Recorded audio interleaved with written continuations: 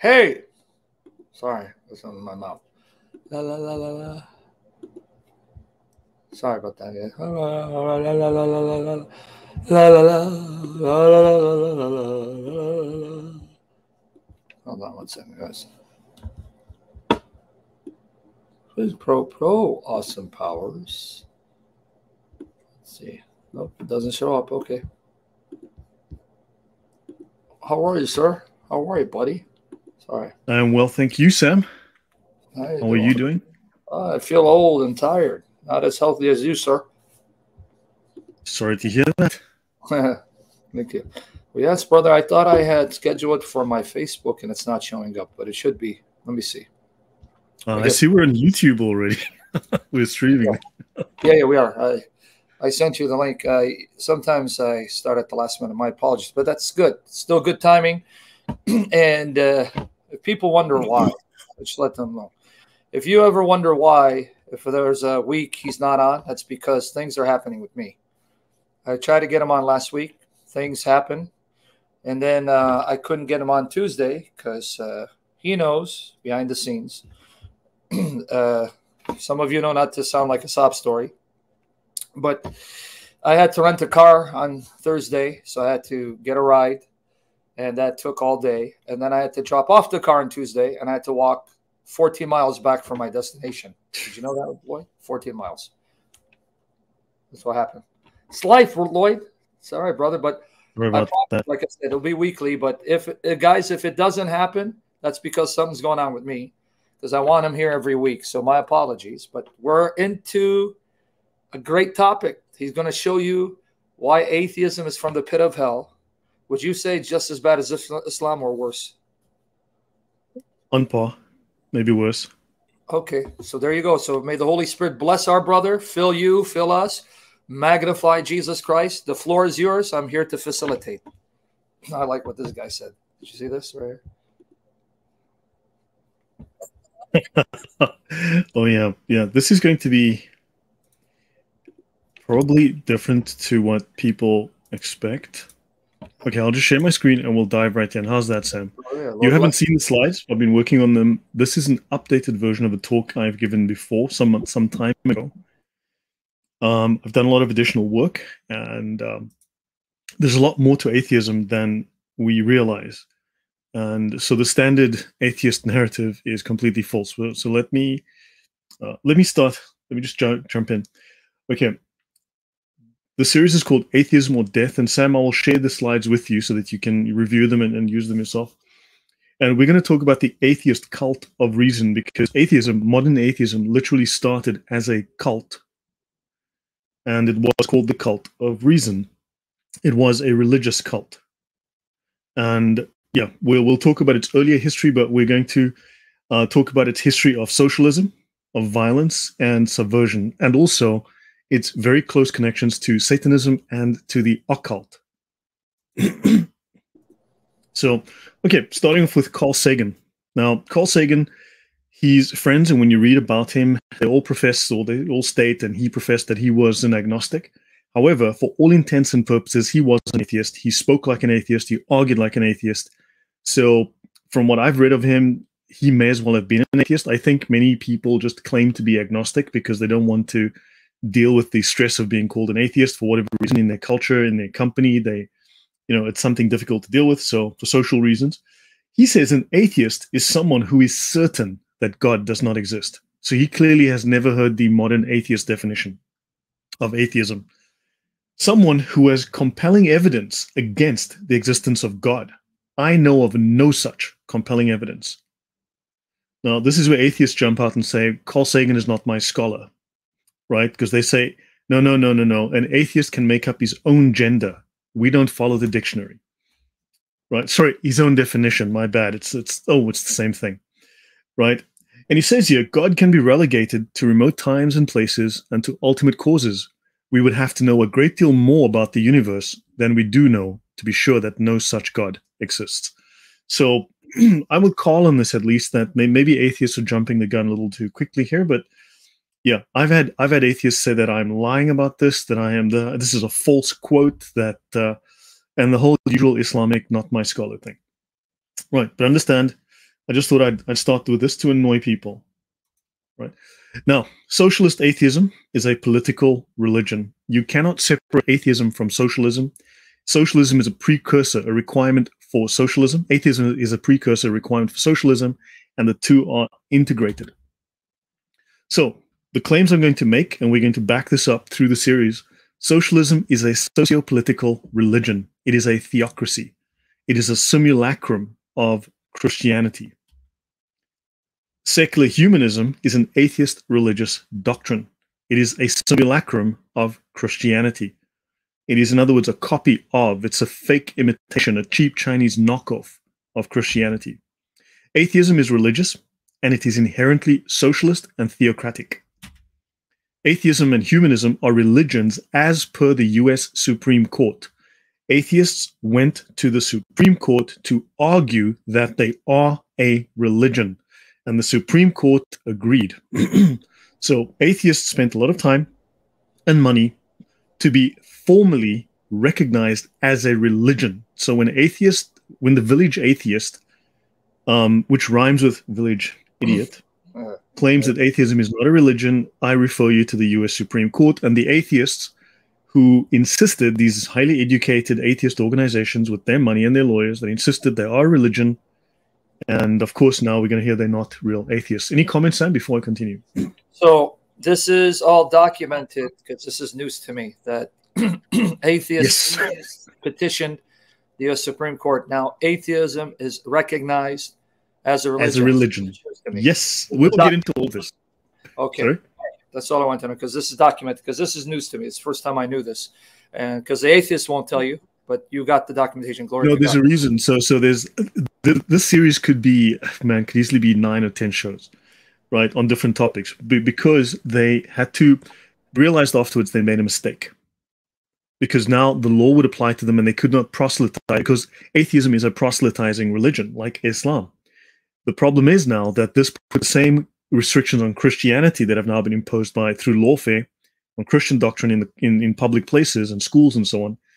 So they had to deny being a religion so that they could claim that they are just pushing secular beliefs as opposed to, yeah. And that is true, Keo. That that is hundred percent correct. Atheism and secular humanism are historically violent and irrational. Oh, I see a violent and irrationality. Sorry, I just changed that. So let, let me fix my little typo there. Okay, violent and irrational. Yeah, I changed that sentence. So that's why that changes. They're violent and irrational. Atheism and humanism are proselytizing religions like Islam. Atheism in government is invariably totalitarian and genocidal. So a picture can express a thousand words. So here's 2,000 words on atheism, and we're going to go through this presentation and we're going to show you exactly why. Right. so we'll start with modern atheism's roots. We go back about to the beginning of the 1700s, to the roughly the mid 1700s, especially in France during the Enlightenment, and we're going to learn a great deal about that. This is a man called Diderot. He is an atheist philosopher. He wrote a lot about how to create social change, etc., etc. He wrote what was called the. He was one of the contributors to the Encyclopédie, which was a new encyclopedia of science. Science was replacing religion. This whole superstition was being was being replaced with this new idea, this new ideology of scientism, which atheism is obviously part of. And he wrote that now, don't forget, the Enlightenment is something atheists always appeal to as the age of reason, the age of rationality, and they appeal to all of these Enlightenment figures, these Enlightenment philosophers, and we're going to see just how racist and debauched, depraved, and satanic these people all were, and psychopathic too. So, atheism in Diderot and D'Alembert's Encyclopédie is the opinion of those who deny the existence of a God in the world. The simple ignorance of God does not constitute atheism. To be charged with the odious, the dirty title of atheism, one must have the notion of God and reject it. Right, so this is where modern atheism starts. Right now, atheists will make all sorts of wonderful claims for their past. We'll get into all of that. But this is where modern atheism starts. It is to know there's a God and deny it. You can't simply have a, well, you, you can't simply have a uh, little feelings that there's no God. But anyway, we'll move on. We'll discuss all that. With Voltaire, So, with Voltaire, he advocated the destruction of religion. He once stated that he wanted to live long enough to see the lost king strangled by the entrails of the lost priest, implying he wanted to see the monarchy and Christianity violently destroyed. Pre Enlightenment science did not exist as a motivator to push people to atheism. Back then, science was in its infancy, providing evidence that less academic factors were at play. Atheism is propagandized as intellectual, and in the future I will go through this history. I will go in detail through the history. Historically, it is linked to political and social factors, and it's a reaction to the establishment of the time. Basically, it is a belief that is in opposition to the status quo. It is always in opposition. Think about it. What is the opposite of theism. The opposite of theism is atheism. So atheism is not a default position, it is a reaction to theism. So, Sam, your thoughts before I continue.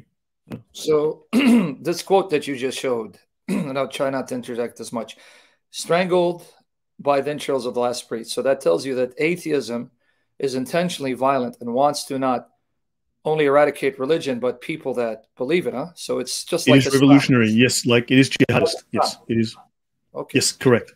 All right. Just want people to see that when atheists tell you they just want to be free of religion, no, they want to eradicate people with their religion, not just religion. Watch this. Right. So no, atheism was not founded upon the slaying of God by the sword of reason, which is the image they try to evoke. It was simply rebellion against church and state with the intent to establish a new utopian state with a new man in the image of man, not God. All right. So now Diderot, without going into too much detail of his history, he went, he got into financial trouble. He sold his library, and it was bought, okay, by the monarch, the Empress Catherine the Great of Russia.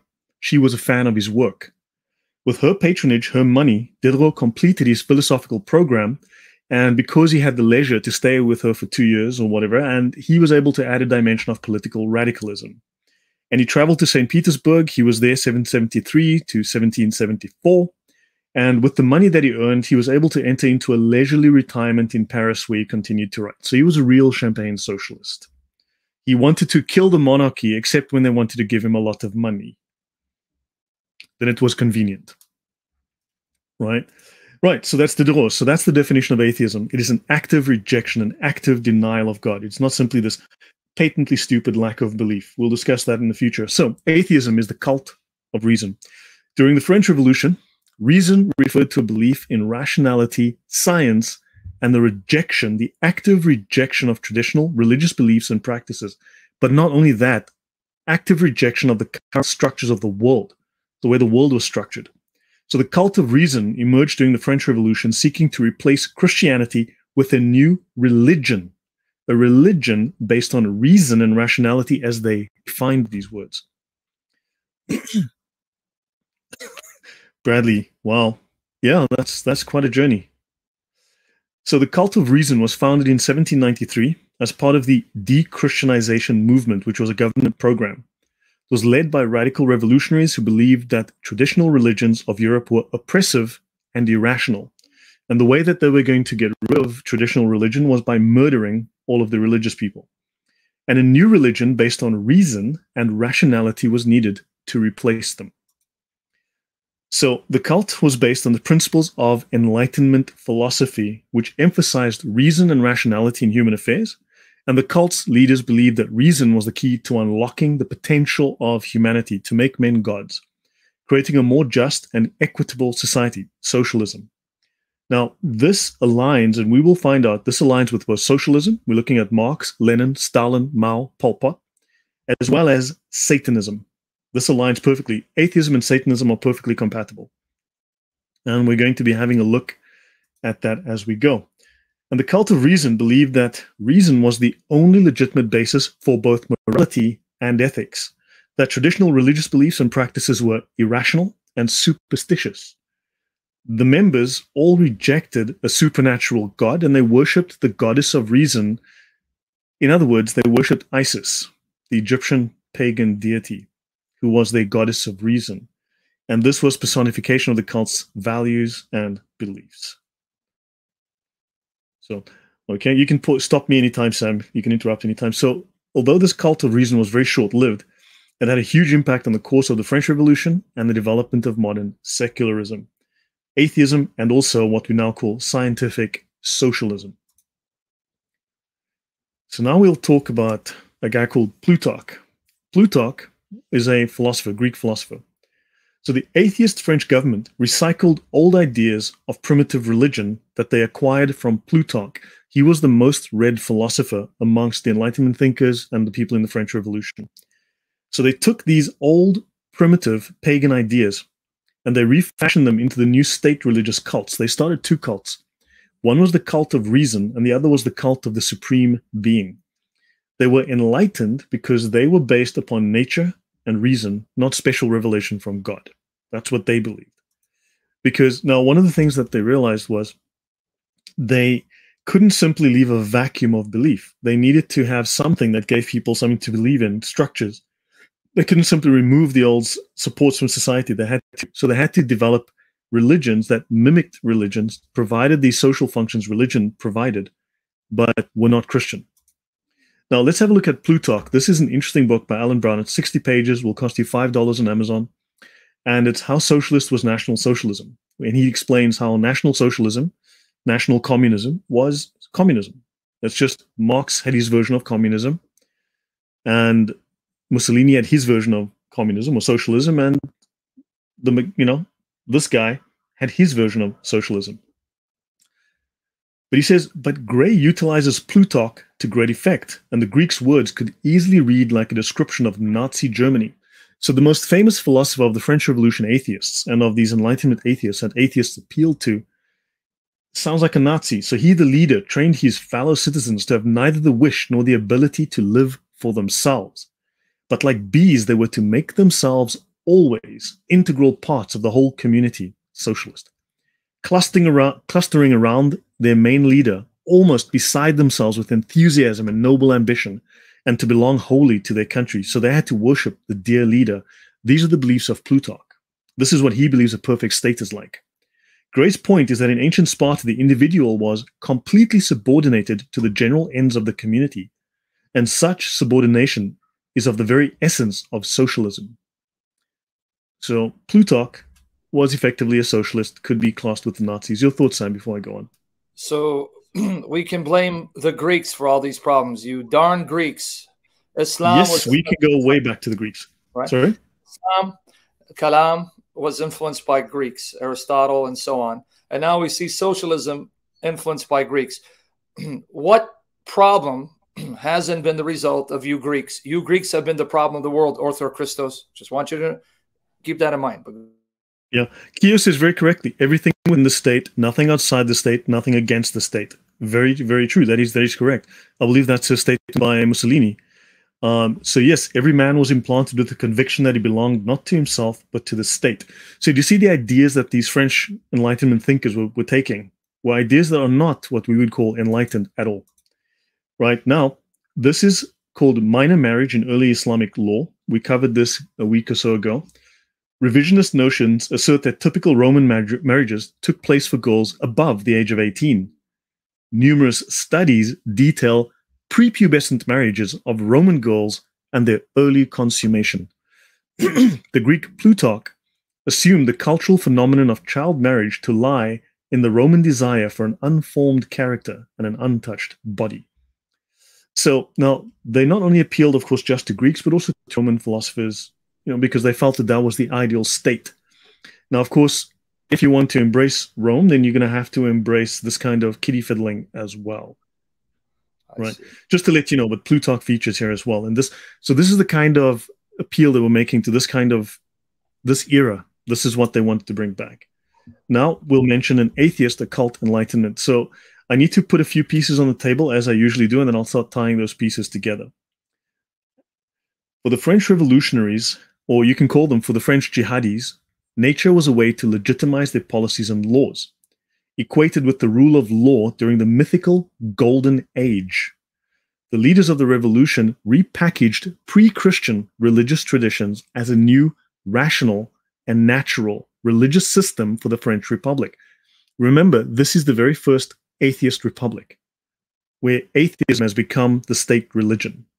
And in fact, Christianity is outlawed. It's illegal and you will be killed. And in fact, they become they, they start the world's first modern genocide and they become the first police state because atheism is so rational. So these laws, so religious system of the French Republic, stripping off the superstition of the church and returning man to a mythical golden age guided by general revelation. So by man's brilliance, this is man worshiping himself. right. Thanks. Thanks, Ortho Christos.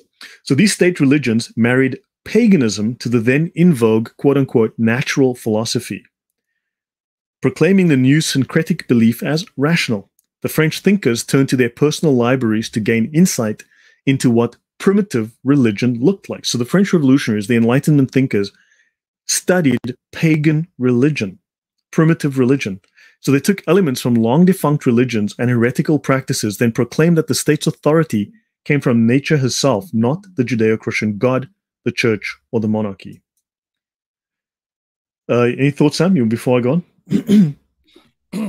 it's it's becoming quite obvious the satanic roots of atheism in that its goal is to eradicate Christianity. Isn't that a common feature of all these religions like Islam? Yes. Which shows you that it's satanic at its very core, it is of the devil because their goal is eradicate Christianity. What a coincidence! But yes.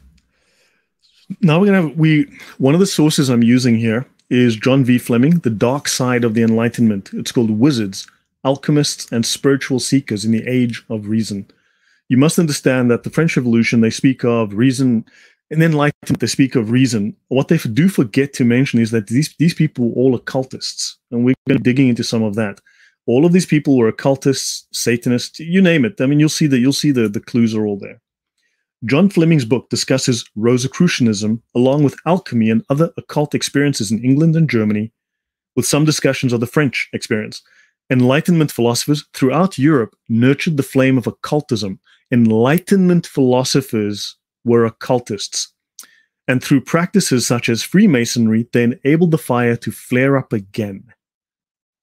So these these philosophers that atheists worship today were occultists. Your will be done versus God's will. Now, atheists will say religion and all these things. Greeks a sprinkle of Romans, but let's they the French and Germans really did turbocharge this cult. They did. Now, it's all just superstition. That's what you basically here atheists say. This is all just superstition. But that is a Marxist position. That is a Leninist position. In fact, that's a heretical position as well. But but basically, atheists are in perfect alignment with Marx, Lenin, Mao, Pol Pot on that point. That that's all superstition because they believe that history has a purpose, that man has to evolve, and that religion was a superstition that must be abandoned for the new science of humanity, which Marx is going to bring you, Lenin is going to bring you, the French Revolution, and we're going to see the atrocities, the barbarity that they descended into. It's far worse than people realize. So now this idea that it's all superstition overlooks very important distinctions. The occult is distinct from a religion in fundamental ways. Marx was a Satanist, Abdelmasih. Marx actually wrote satanic poems. He actually wrote poems. He he was very fond of, of the idea of satanic practices. He wrote, shall we say, in fond ways about Satan, as as did Engels. You'll find this in their writings. So yeah, all of these people were involved in some ways in the occult or influenced by the occult. So religion tries to understand the world. The occult, you try to exert control over the world. I know that they try to say, oh, religions just try to control you. Well, no, you're trying to understand the world. With the occult, you're trying to master the world. You're trying to exert control over it through spells. But Christianity is logos. God is logos. We do not reject science or reason. The occult embraces irrationality and immorality. Christian religion is based on belief in God. We pray for guidance, but the occult, they use rituals to cast spells or curses. Christianity requires spiritual growth. Occultism seeks power to manipulate by means of rituals. And God is Logos. Once again, occult practitioners believe in forces that are beyond reason. Again, when I've spoken of the Sufis in the past, they believe in going to mental doing these rituals that take them into these states that are beyond reason. They call them post rational or pre rational states. right? So, and occultists usually operate in secret. There's nothing secret within Christian practice. Let me continue.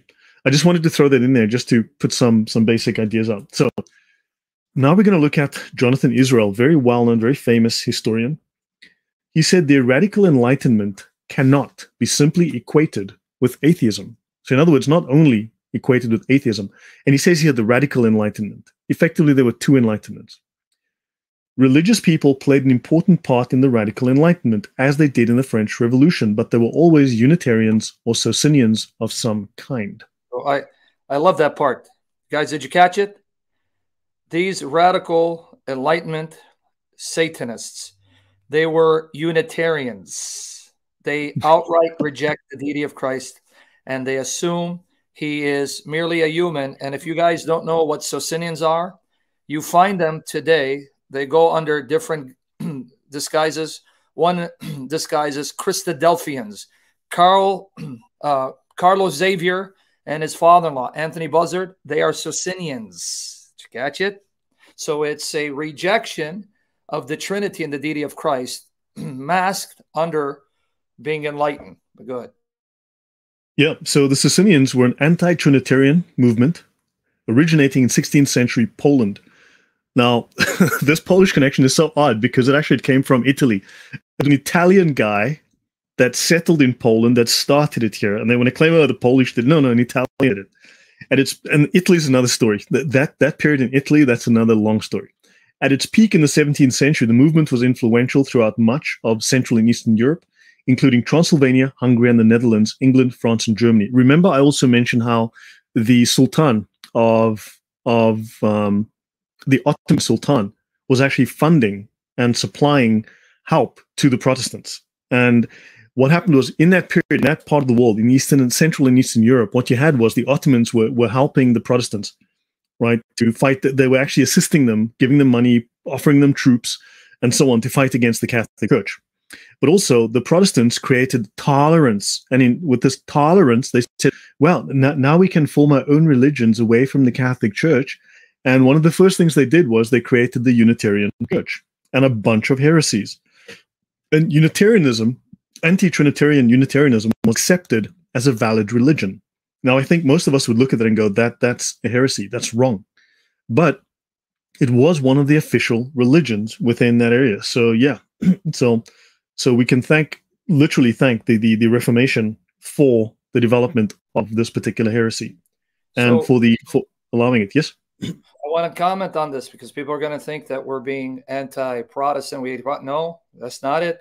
Facts are facts. Facts do not care for your feelings. Did you just hear again another fruit of the Reformation? Socinianism, Christadelphianism, is the fruit of the Reformation, where every man with his own Bible becomes his own pope. This is the fruit of Martin Luther and the reformers like John Calvin. Keep that in mind. These are facts. Facts don't care about your feelings. Go ahead, brother. Yeah. So the core beliefs of Socinians were rooted in the concept of Unitarianism, the belief in one God. And anything that's in green generally has to do with Islam. Okay. If I have it in green, it links to Islam. So the belief in one God without the Trinitarian doctrine. Socinianism, like Islam, believes there is only one God who is the sole creator, that Jesus was an important prophet, but he's not divine and he's not part of the Trinity. Both are monotheist. Yet Socinianism and Islam reject the doctrine of original sin, as does the Enlightenment. You want to add anything there, Sam? Or uh... I just want people to see that you're not being anti-Protestant and bashing. You're just stating facts, and the facts are there. Anyone can investigate. You didn't make this up. This is from primary sources. And the sad reality is that because of the fruit of the Reformation, you see all this sprung forth from the Reformation. Even what he's talking about, the Enlightenment, the post-Enlightenment, atheism, occultism, Socinianism I'm sorry to say this, folks. This is all connected to the rotten fruit of the Reformation. And I'm sure you would agree with me on that point. It opened the door to all of these things. Yeah. So I'll continue. So, for instance, this is Jonathan Israel, the radical enlightenment. And he says the radical enlightenment rejected all compromise with the past. It sought to sweep away existing structures entirely. aiming for a complete elimination of quote unquote well Christian religious authority. I'm inserting the word Christian here, but but this is what is meant, right? Suleiman the, yeah, the Magnificent funded the Protestants at the early stages, correct. And I, I discussed that the last time we did the show. I showed that connection. I showed the, the actual deep ties between between the Muslims and uh, yeah, and the things that were happening. So there's a lot there that, that is very uncomfortable. If you're a Protestant, like I am, I'm a Protestant, it is very uncomfortable to look at these facts. So understand the radical enlightenment is now, today in 2023, coming to fruition men can now be pregnant. I mean, today I was very gratified to see an 85 year old woman got up from her seat and she gave a pregnant man her seat on the bus. I thought that was beautiful. Thought that was beautiful, Sam. You actually did that, that happen? No, of course this is Poland. People are not out of their freaking minds. oh, man so so understand they sought to sweep away all structures not just the church but everything had to go they needed to burn the whole system down and start fresh with this new crazy idea that they had all right so now let's have a look this look at the kind of artwork that these guys produced it's very religious in nature but it's very greek as well and you might notice this very familiar looking salute here look familiar sam hey where where did we see that before I don't I don't know. I don't know. But it looks very nasty. Looks very nasty. Very very na- nats nat nasty. Oh. Very to do with Nazism or even could, Right, so let's continue. So Plutarch was the most frequently read author by men during the French Revolution, and a very famous painter, and also someone who signed a lot of death warrants called Jacques Louis David. His work, such as the Oath of the Horatii, you've just seen the painting, it became the official artistic style of the revolutionary government and eventually shaped the religious aesthetics of the state's secular cults, religious aesthetics of the atheist cults. Fascinating. These same names of these people in the French Revolution are associated with occult mysticism, with magic, Rosicrucians, Freemasons, etc. Freemasonry was a pseudo religious practice that was much like the experience of Christianity. Freemasonry lodges allow different social strata to interact, promoting skepticism and intellectual inquiry. These two are both propagandistic words. I'm not going to get into this now, but the word skepticism, there's an interesting history there. It doesn't mean what you think it means. The famous Neuf Sœurs Lodge in Paris had members such as Voltaire, the Abbé Sieyès, and the designer of the Republican calendar, Charles Gilbert Romme. We'll discuss that in a minute. And occultist, Antoine Court de Gebelin and the Freemasonry lodges were catalysts in the years preceding the Revolution, and the Scottish Rite Freemasonry gained popularity in Catholic France during the 18th century. So we taught touching on Freemasonry. So this is Marat, Jean-Paul Marat. He was a martyr for the Revolution. His death, his assassination, kicked off the reign of terror and created the first atheist police state. So the first atheist state became the first atheist police state. Freemason, Freemason, I need to need to point that out. Jean-Paul Marat wanted heads to roll. From September 1793 to July 94, roughly 2,000 people monthly were publicly beheaded in Riyadh, sorry, Paris, mainly for their unwillingness to support the atheist jihad. Sorry, the atheist revolution. How, how am I mixing these words? he wasn't. Sorry. And so an anti-Christian eulogy was given by the atheist Marquis de Sade. Now the word he's the, his name is the source of the word sadism, the word sadist. And Marquis de Sade was an atheist, and he compared Marat to Jesus Christ. Amongst other things, what they wrote was, "O heart of Jesus, O heart of Marat, their Jesus was but a false prophet, but Marat is a god. Long live the heart of Marat, like Jesus." Marat detested nobles, detested priests, the rich, the scoundrels. Like Jesus, he led a poor and frugal life. Wow. This and also, a, what they. Sorry, go on. Sorry. So he's now deifying the Jean Paul Marat. My goodness, man, what blasphemy! Go ahead, brother. I just shocked me these quotes this was standard practice. This was these were atheists. Don't forget. But but don't worry, Sam. Just like Islam's a religion of peace, so you can so you can show your address to people online now, live, no problem. Okay. Um, I live on number one two three Bakalaka Daka Street. okay, just so you guys know. By the same token, um, you know, atheism is just a lack of belief. It doesn't have any, it doesn't write anything. It doesn't make any ideas, just a lack of belief. Another thing to note is that he was, what they did was they arranged his body, you know, they put him on a chair, like on a throne, and they arranged his body to make him look regal so that they, you know, you know, when you see psychopaths in the movies, they always arrange the bodies, they murder someone and they arrange the body in an artistic rendition. These psychopaths in the French Revolution did that a lot. They did a lot of taking these bodies and arranging them in very macabre situations. So yeah, that's Marat, and it's made to look like he was Jesus here, basically. This whole the Marquis de Sade, and induced abortion. Now, this is from the National Library of Medicine, from the National Institutes of Health, and it's the National Center for Biotechnology Information. In 1795, the Marquis de Sade published his book, Le philosophique dans le, le boudoir, in which he proposed the use of induced abortion for social reasons and as a means of population control. It is from this time that medical and social acceptance of abortion can be dated. Previously, the subject had been discussed in public, in had not been discussed in public in modern times, because we don't want to see that an atheist and a sadist, the, the originator of the word sadism, had been the guy calling for abortion and population control. It was largely due to de Sade's writing that induced abortion received the impetus which resulted in its subsequent spread in Western society. De Sade held that all life was cheap. He held all life cheaply and spent most of his life attacking God and the Christian church. His book attacks established religion, morality, family ties, and social structures. And he advocates sodomy, incest, lust, and cruelty for its own sake. So he viewed that man is not responsible for his own existence and God, blah blah.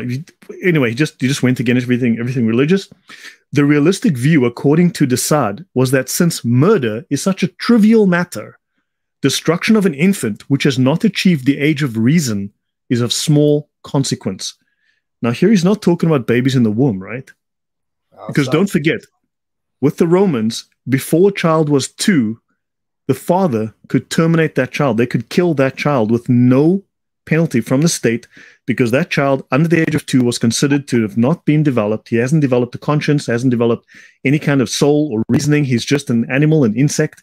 Kill him, move on.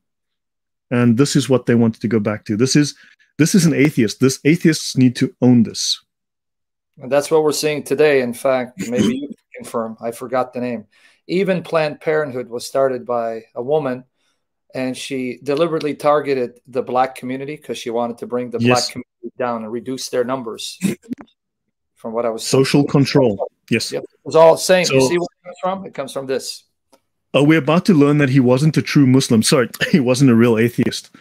Uh, we're gonna learn that any any moment now. You know.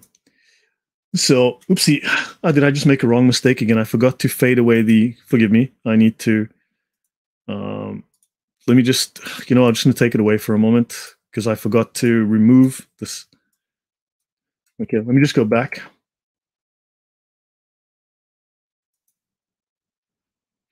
Okay, so in 1795, the atheist Marquis de Sade published his book, and he said that all life is cheap and he attacked the Christian church, right? He then advocated sodomy and incest, right? And lust and cruelty for its own sake. And this is what he said. Okay, so this comes from, there's the link, pubmed.ncbi.nlm. Just look for the article. Marquis de Sade induced abortion. So you'll see that this is a legitimate article. I'm not making this up. Okay. And if you look for some of the photos that were drawn by some of the books he wrote, I mean, man, it's all just sexual perversion. It's crazy. Now, let's have a look at woke. Let's look at the origin of woke and let's look at these fantastic Greeks that these atheists now appeal to. Why do they want all these famous Greeks? They appeal to them. Let's look at Aristophanes, who was a Greek playwright. We're going to Athens in the year 392 BC. The great urban Dionysia, when Aristophanes presented his comedy called Ecclesiazusae, or the Congress Women. So he depicts a teaching that was very fashionable in Athens at the time, right? And these are these are the people that are that are lauded by these atheists as the great thinkers, the great reasoners of, of Greece, and we want to go back to them. And this is where the French Revolution went. so the Great Dionysia is also called City Dionysia. It's an ancient dramatic festival in which tragedy, comedy, and satirical, this is satire, right? But he was making fun of real things. Where this drama originated. It was held in Athens in March in honor of Dionysus, the god of wine. Okay, so the Congress women. The women of the city, wearing beards and dressed in men's clothing, come to the assembly and by a majority vote pass a resolution transferring all power in the state to women. Would that sound a little bit like feminazism? Most definitely. And there's a picture, a woman with a beard, huh? Yeah, yeah. That, I just thought I'd add this in there, and then also the you know like the French revolutionaries, uh, one of them at least wanted everyone to wear the same clothing. I don't know where he got that idea. Hmm. You know, yeah. well, you know, equality. Sorry? It's all converging again to one common source, isn't it? It's all connected. Yeah, they, the women use this power to introduce a series of political measures. And these are expounded in a dialogue between Praxagora, the leader of the women, and her husband, Blepyrus. Here are some quotations. Praxagora, compulsory universal community property. In other words, everybody owns everyone else's property. The people own the property. This is what I propose to propose. Across the board, economic equality to fill those fissures that scar our society's face. No more division between rich and poor.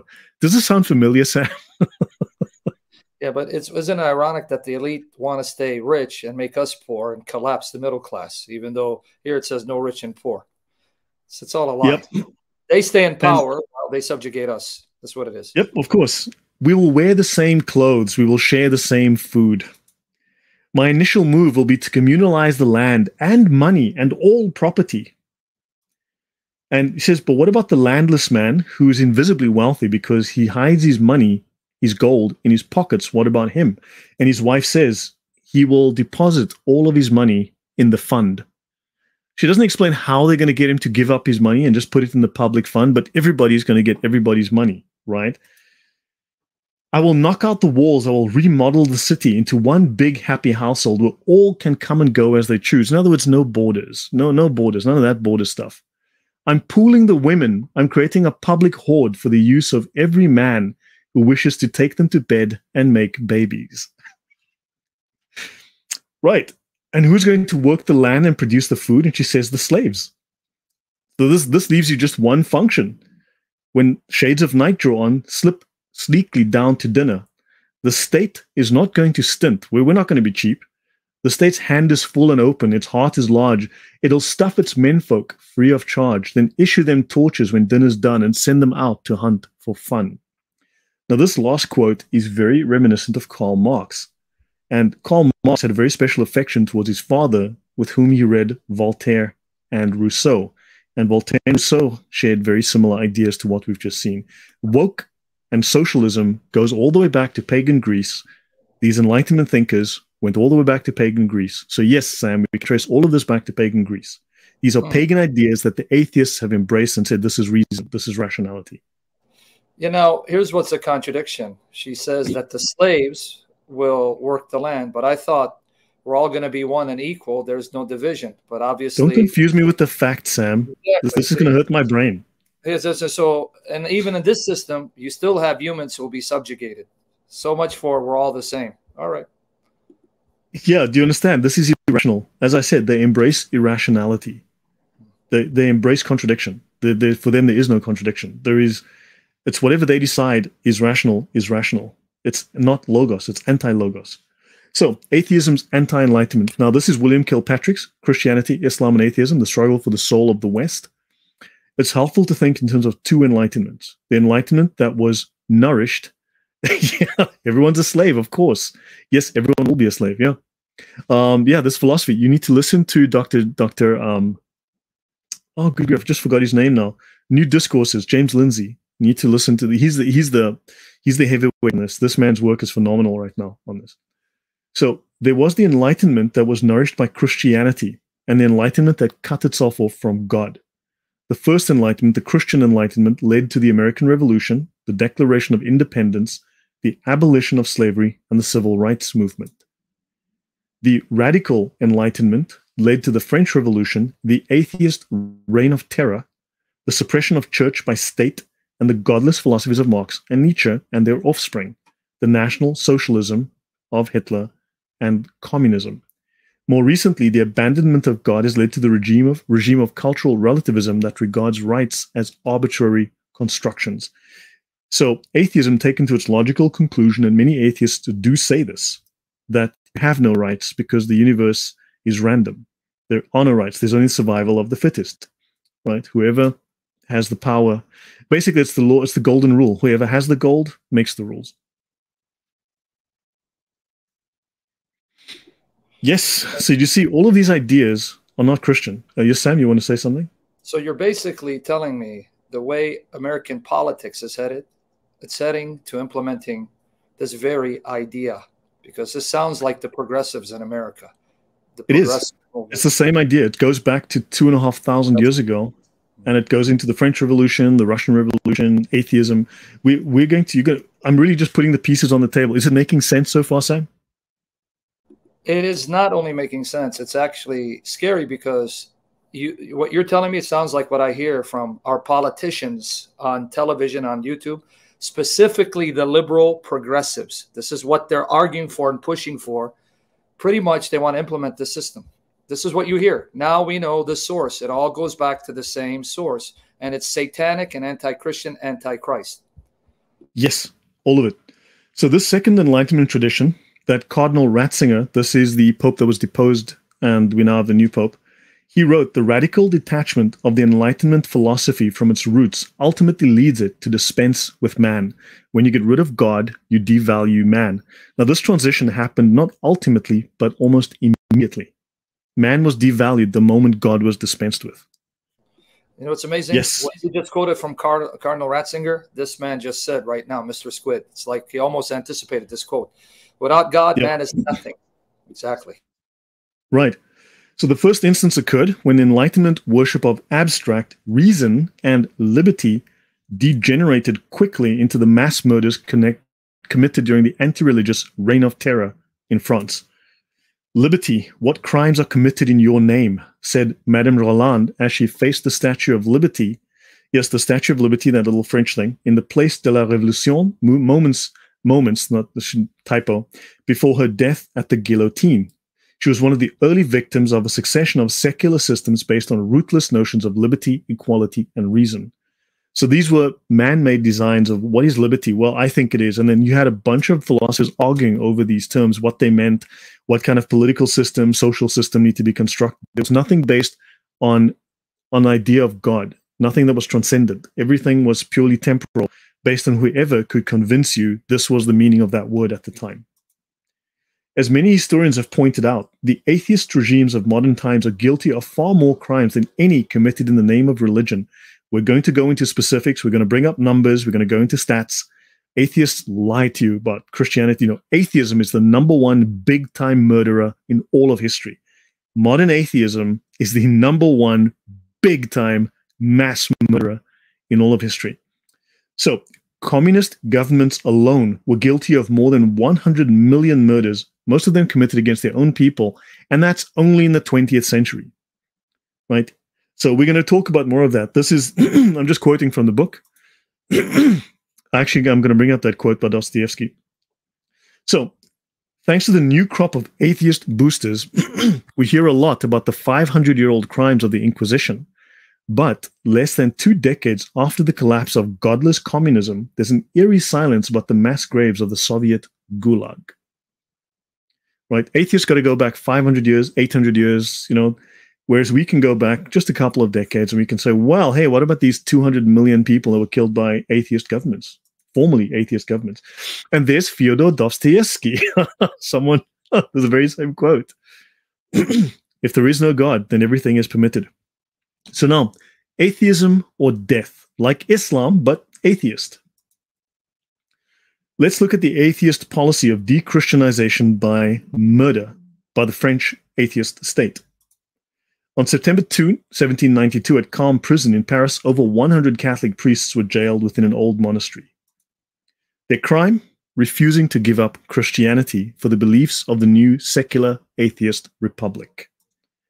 A mob stormed the prison and they slaughtered 115 priests. That bloodbath was just one of several remembered as the September massacres. Over four days, from the 2nd to the 6th up to 1,614 people were known to have been murdered because they were Christians. Because they would not accept atheism. Because, as you know, Sam, atheism is a religion of peace. You see, mean, once we have. Sorry? You mean pieces, a piece here and a piece there, like Islam. Pieces. Oh, yeah, yeah, yeah, yeah. He's, he's making pieces right here. See? There's a woman lying on the ground and he's making pieces right here. Let's continue. The atheist purge. These atrocities were part of a deliberate, escalating campaign of violence known as de-Christianization. This was government policy. It was passed into law. The atheists passed law by which atheists violently purged religion from France in the name of reason and rationality. Atheists like Pierre Chaumette and Jacques Hébert argued that this was necessary so that reason would triumph over superstition and fanaticism. In other words, they murdered hundreds of thousands of people because to get rid of superstition because it, so that reason would triumph over superstition. They needed to murder maybe half a million people. And yet you just showed it's steeped in the occultism. Occultism. We're going to get it. So here's what's ironic. They want to get rid of christianity superstition to embrace another superstitious system occultism. Yeah very rational. Yeah. Entirely rational. It's a religion of peace sam. It's it's rational in their eyes, churches were weeds in need of plowing so that their enlightened ideas could grow. Crosses were received from altars, bells were plundered and melted down. Now, the very same were done by, quite bluntly, in Protestant history, the Protestants did exactly the same to the Catholics during the Reformation. The calendar was changed from a seven day week to a 10 day week. Sundays were removed from the calendar so that there would be no day to worship. That's what the French did. The secularists no longer wanted to base their dating system on the birth of Jesus. They based it upon the birth of their revolution. Now, I will let you know the Soviet Union did the very same. The Soviet Union removed Sunday so there would, no, would be no day of worship. And the Islamic calendar, the Islamic Hijrah calendar, also did not want to be dated on the birth of Jesus. They dated it on the birth of their revolution. and, but here's what's interesting, Lloyd. Now, guys, yeah. see this quote? They don't want to date it from the birth of Christ. Well, guess what they're doing now? And you know this. Now they talk about BCE and CE, before Common. Era and Common Era. So, guys, did you see? It's been a concerted effort to remove Jesus from our calendar. So, when you Christians say BCE, CE, you're following their satanic agenda. So, instead of saying BC, before Christ, AD, Anno Domini, in the year of our Lord, they're saying BCE, before Common it's Era. Before communism and before the communist era. Sorry. Yeah. Be- before which communism. Has, which, again, what made it common? It was the birth of Christ. So don't fall for that. Do not use BCE and CE. BC yeah. and AD in their face. All right. Yeah. So the worship of reason, paganism returns. So this is the goddess of reason, right? This is the goddess of reason. And this is the ceremony where these atheists are now worshipping the goddess of reason, taking her through the streets. Atheists tried to replace Christianity with their own belief system. The cult of reason was the very first state sponsored atheistic religion. It was a godless alternative to churches where citizens could hear sermons that instilled virtue without any biblical language. In other words, when you had a funeral, they would talk about decomposition. You know? Yes, exactly. Yep. Now, the churches were deconsecrated into temples of reason, devoted to the worship of reason, personified as a woman bearing a torch. You might might look familiar. Anything see anything familiar, Sam? So this is actually a symbol of the goddess of reason. I didn't even know that. wow. yeah. There's, there's there's a history to this. Um, yeah, there's a story around this as well. But yeah, but there you go. The atheists made up their own holiday for it, the Festival of Reason, held on 10th November 1793 at Notre Dame Cathedral. Now, of course, we, we've all heard, you may have heard stories of how they deconsecrated Notre Dame Cathedral by having prostitutes and having skimpily or naked women walking around the altar. And apparently, they had sex with the prostitutes on the altar to deconsecrate it because that's reasonable. That's that's that's what you do when you're reasonable and sign. In fact, Sam, that's scientific. That's scientific atheism right there. Altars were rededicated to truth and liberty. The festival was not a dignified ceremony, but a spectacle, a Mardi Gras or a pride parade. Lady Liberty liberty enlightening the world replaced Virgin Mary on several altars to symbolize enlightenment thinking. See, they just replace. They don't. Re- they don't actually. They actually just replace your symbols with their symbols. So, the cult of reason was based on the principles of enlightenment. Its guiding principle was to exercise reason. It was anti-clerical in the extreme. Also, anti-clericalism is found in pre-Protestant heresy, and then taken up by Martin Luther right? I will get into that. Its goal was the perfection of man through the attainment of truth and liberty via reason. In other words, Gnosticism and the Hermetic wisdom of the ages, very similar to the socialist man, man made in the image of man. It encouraged congregational worship and devotional displays based on reason, thus the Festival of Reason. This was the atheist way of being reasonable and scientific by having pagan, occult, Greek occult ceremonies. Okay, since we're talking about reason and the Enlightenment, the Enlightenment was awesome and bloody, blah. Let's have a look at the Humanist Canada website. They have profound respect. Humanism is a philosophy or life stance based on profound respect for human dignity and the conviction that we're all ultimately accountable to ourselves and to society for our actions. Our worldview is deity free and without the reliance upon a belief in the supernatural. Reason and science are the best ways to understand the world, and compassion should be the basis for how we act towards each other. Remember these words compassion, reason, science. Remember these words, please. We live in a fair and equal society. That's all we want a fair and equal society. Through our ceremonies, hold on, why is an atheist organization having ceremonies, Sam? Because the word ceremony is a religious, a church, you have church ceremonies. And through our educational services and we bring humanism to communities across the country. In other words, they are proselytizing, they're, they're evangelizing their atheism, and they're raising awareness on the national stage. They are propagandizing. You see, they are mimicking religion. They're a simulacrum of religion. Islam's a copycat. Atheism is a copycat as well. So this is fine. So now, now we have understanding of what Humanist Canada. Look, I just picked a random one. I could have picked Humanist USA, but I thought let's, you know, I thought look, Canada. You know, there's three, there's three genders, right? Men, women, and Canadians, right? Canadians are harmless. Okay, I mean, like when you when you think Canadian, you think fluffy pillow, right? You think harmless. So I thought, okay, let's let's, let's have a look at what the Canadians have going for them. Now let's have a look at the seven fundamental tenets of the Satanic Temple. Let's see if if these atheist humanists have any similar, you know, just just roughly similar ideas. You know, let's have a look. We need to strive to act with compassion and empathy towards all creatures with reason. Sam, if you're an atheist, you need to have compassion and act with reason. We want justice, okay? And justice is a necessary pursuit that should prevail over laws. So if the law was wrong and you you believe that that that justice you know your justice you, your your truth is greater than the law of the land you need to pursue your truth even if it goes against the law and the institutions you see you need to change the law you see and beliefs should conform to one's best scientific understanding of the world this is scientific satanism this is not just regular this is not your mama's satanism or your grandpa's satanism this is scientific satanism and you should take care never to distort scientific facts because as you know men can get pregnant. Don't be a bigot. and every tenet is a guiding principle designed to inspire nobility in action and thought. The spirit of compassion, of wisdom, and justice should always prevail over the written or spoken word.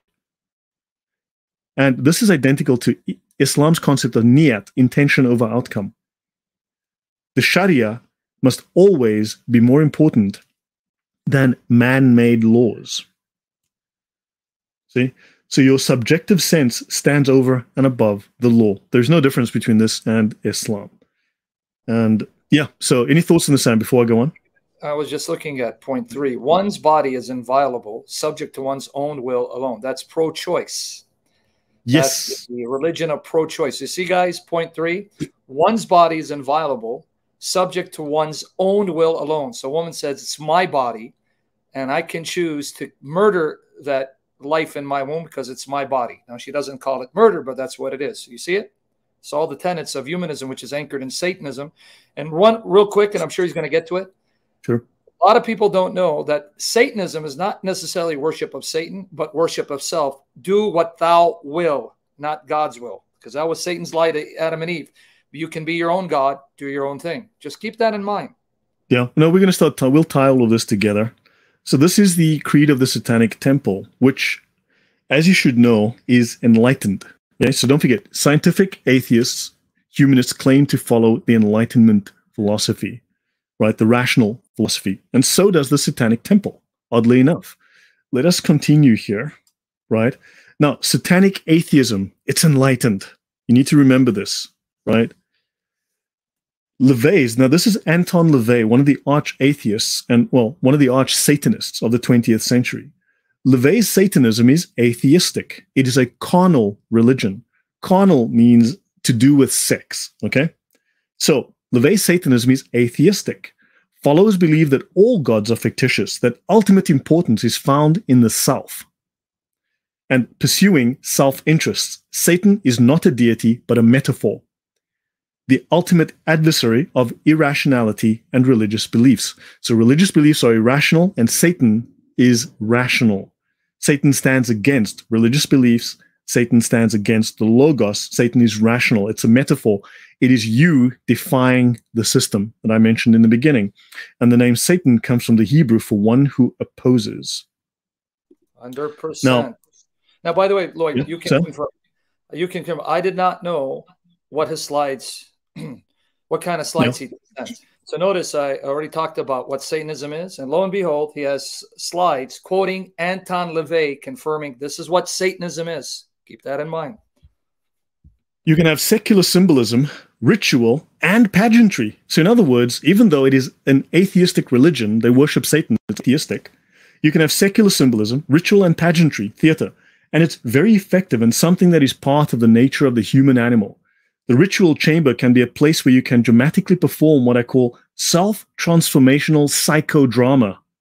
We release the emotions that we find would be injuring us in the regular pursuit of our happiness so that we can then let them go.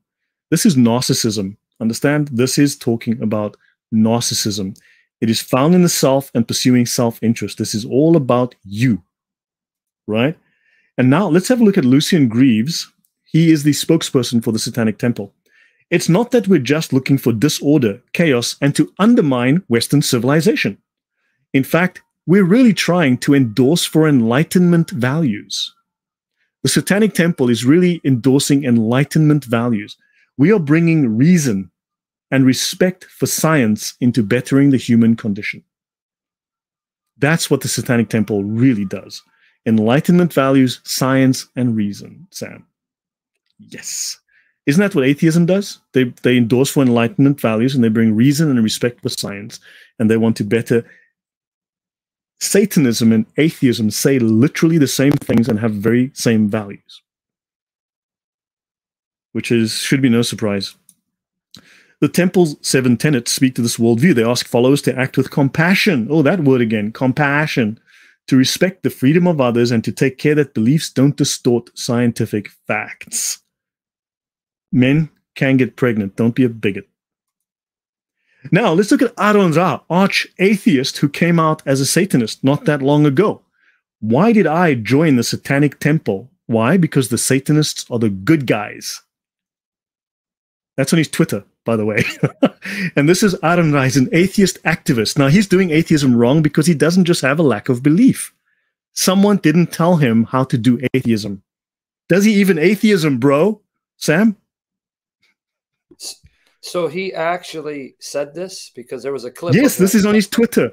I don't need any rituals. I joined to support the human rights activism. Okay, so okay, so he did join. This is on his Twitter. This I took this off his Twitter a week ago. Okay. Your thoughts? Sorry. no, I was because I had seen a clip of him saying he went to the Satanic Temple, but someone said it was misrepresented. But this is him. This is his Twitter. That's him saying Yes. He no, he he has a oh. video where he states publicly he has become a Satanist. He's still an atheist though, but he's a Satanist. and the Satanic Temple alleges Idaho abortion laws violate blah, blah, blah. So the Satanic Temple has filed two court cases just in Indiana against anti-abortion laws. You know, so this this is their human rights activism so that abortion can be made legal. Just so you know that Satanists, there's a there's a claim you will find common commonly that there's always at least one atheist within uh, who, who's part of a covenant, a part of the Satanic Church, who is always in every abortion clinic because they want to be there as part of any ceremonies that kills a baby. Because when they can do this, if they kill the child, they can use that as part of a satanic ritual to enact a spell. So this is part of their process. Right. So now, atheistic woke Satanism. Satan respects your pronouns. And here we have the Baphomet. Satan respects your pronouns. Alrighty, that looks friendly. Woke is satanic, atheism is satanic, and woke is Marxist. And Marxism is, we know that woke is Marxist. We know that woke is atheist. Now, trust me, this is one little, this is one little circle jerk going on here. Satan loves you and respects who you are. You're important and valuable, and you deserve to treat yourself with love and respect. I've been thinking a lot lately about the Satanic Temple and the Church of Satan. They are so misunderstood and demonized. Yes, and LGBTP, LGBTFU plus people are so often referred to as being the product of Satan or going against God's will. Satanists don't actually believe in Satan. He's used as a symbol of passion, a symbol of pride and liberty. He means to you what you need him to mean. For me, Satan is hope, compassion, equality, and love. See, it's atheistic Satanism. They will tell you afterwards that not all Satanists or atheists. Some Satanists believe in Satan. Some Satanists believe in Isis, the, the other goddess that we just part of the French Revolution, that the goddess of reason. So that's fascinating. Satanists who believe in Isis, the goddess of reason that was worshipped in the French Revolution, and that's just a coincidence. Naturally, Satan respects pronouns. He loves all LGBTFU plus people. The Church of Satan openly accepts LGBTFU plus people. It has done since it was created, and the more recent Satanic Temple accepts them too with open arms. Now, just so you know. Before you go on. Lloyd, I don't know if he's being an apologist for atheism and he just wants to be a nitpicker. When people come to my channel nitpick, they get sent back to the Satanic Temple. It, it, you never at once said that all atheists are Satanists, and you just said there are Satanists that may believe in Satan, Lucifer. So if this man is patient and doesn't bark before he gets muzzled, yeah. you would you're going to address that issue. I just want to make well, that clear. Here's a guy that's going, well, you know, I'm an atheist and I haven't murdered anyone. I haven't started a French Revolution. It's like you're still, well, first of all, atheism is a doctrine. It has a very dirty history. It is tied to all of these things very historically. So the fact that you don't particularly do these means that, you know, it's like not all Muslims are jihadis yet. They haven't done violent jihad yet. It is part of their doctrine. It is written into the fabric of the doctrine. It is their law. So the fact is that they haven't done it yet just means they haven't done it yet. That's all. You are still part of the same doctrine. This is what your doctrine believes. This is what your doctrine practices. This is part of your doctrine's history. Whether the fact that you are ignorant is that is not my problem. That's your problem. If it embarrasses you, I don't know, go join a church. I've always loved the juxtaposition of creepy or weird things being presented as soft or cute. Now we're talking about children's toys and children's clothes, babies.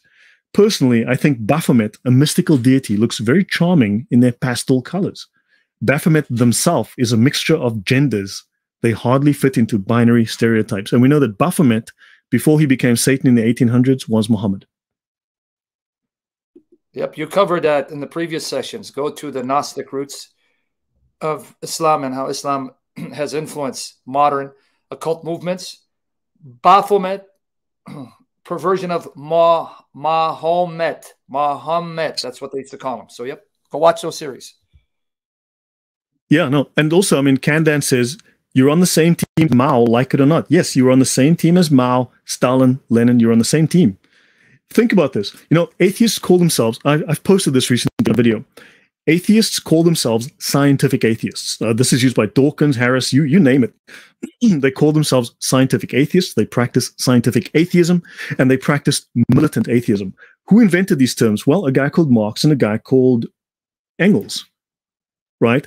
And the Soviets were scientific atheists. They practiced scientific atheism. It was the official ideology of the Soviet state, of the communist state. Right? So now hold on. Let's see. And they also they were required, and I will be covering all of this as we go, but they were also required to spread the quote unquote propaganda of atheism. This was official government Soviet policy. They had to spread the propaganda of atheism. Now, if you listen to the propaganda of atheism from the Soviets, it's identical to what modern atheists like yourself, that's you I'm pointing at, say today. There's no difference. Now, let's see. The 2023 atheist calls himself a scientific atheist. He calls himself a militant atheist. They practice militant atheism. They practice scientific atheism. It's exactly the same names as used by Marx, Stalin, Lenin, Mao, Pol Pot, all of the worst genocidal murderers in all of history.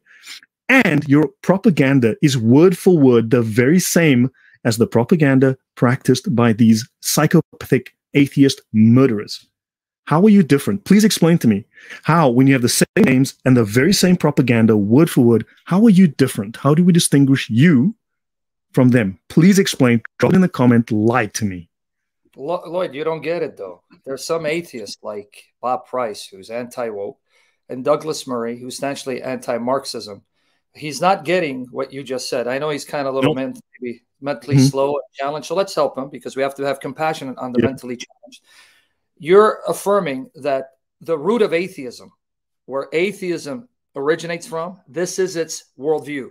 Now, if you have some dissenters and detractors, that doesn't refute the fact that atheism originates from a system that teaches yes. all of this and it's part and parcel of its ideology. So if you have some detractors or rebels, that's on them. You're representing what atheism historically has taught. It's just like you have Muslims who are Quran only Muslims. Okay, that's okay. That doesn't mean that Islam was based on the Quran alone.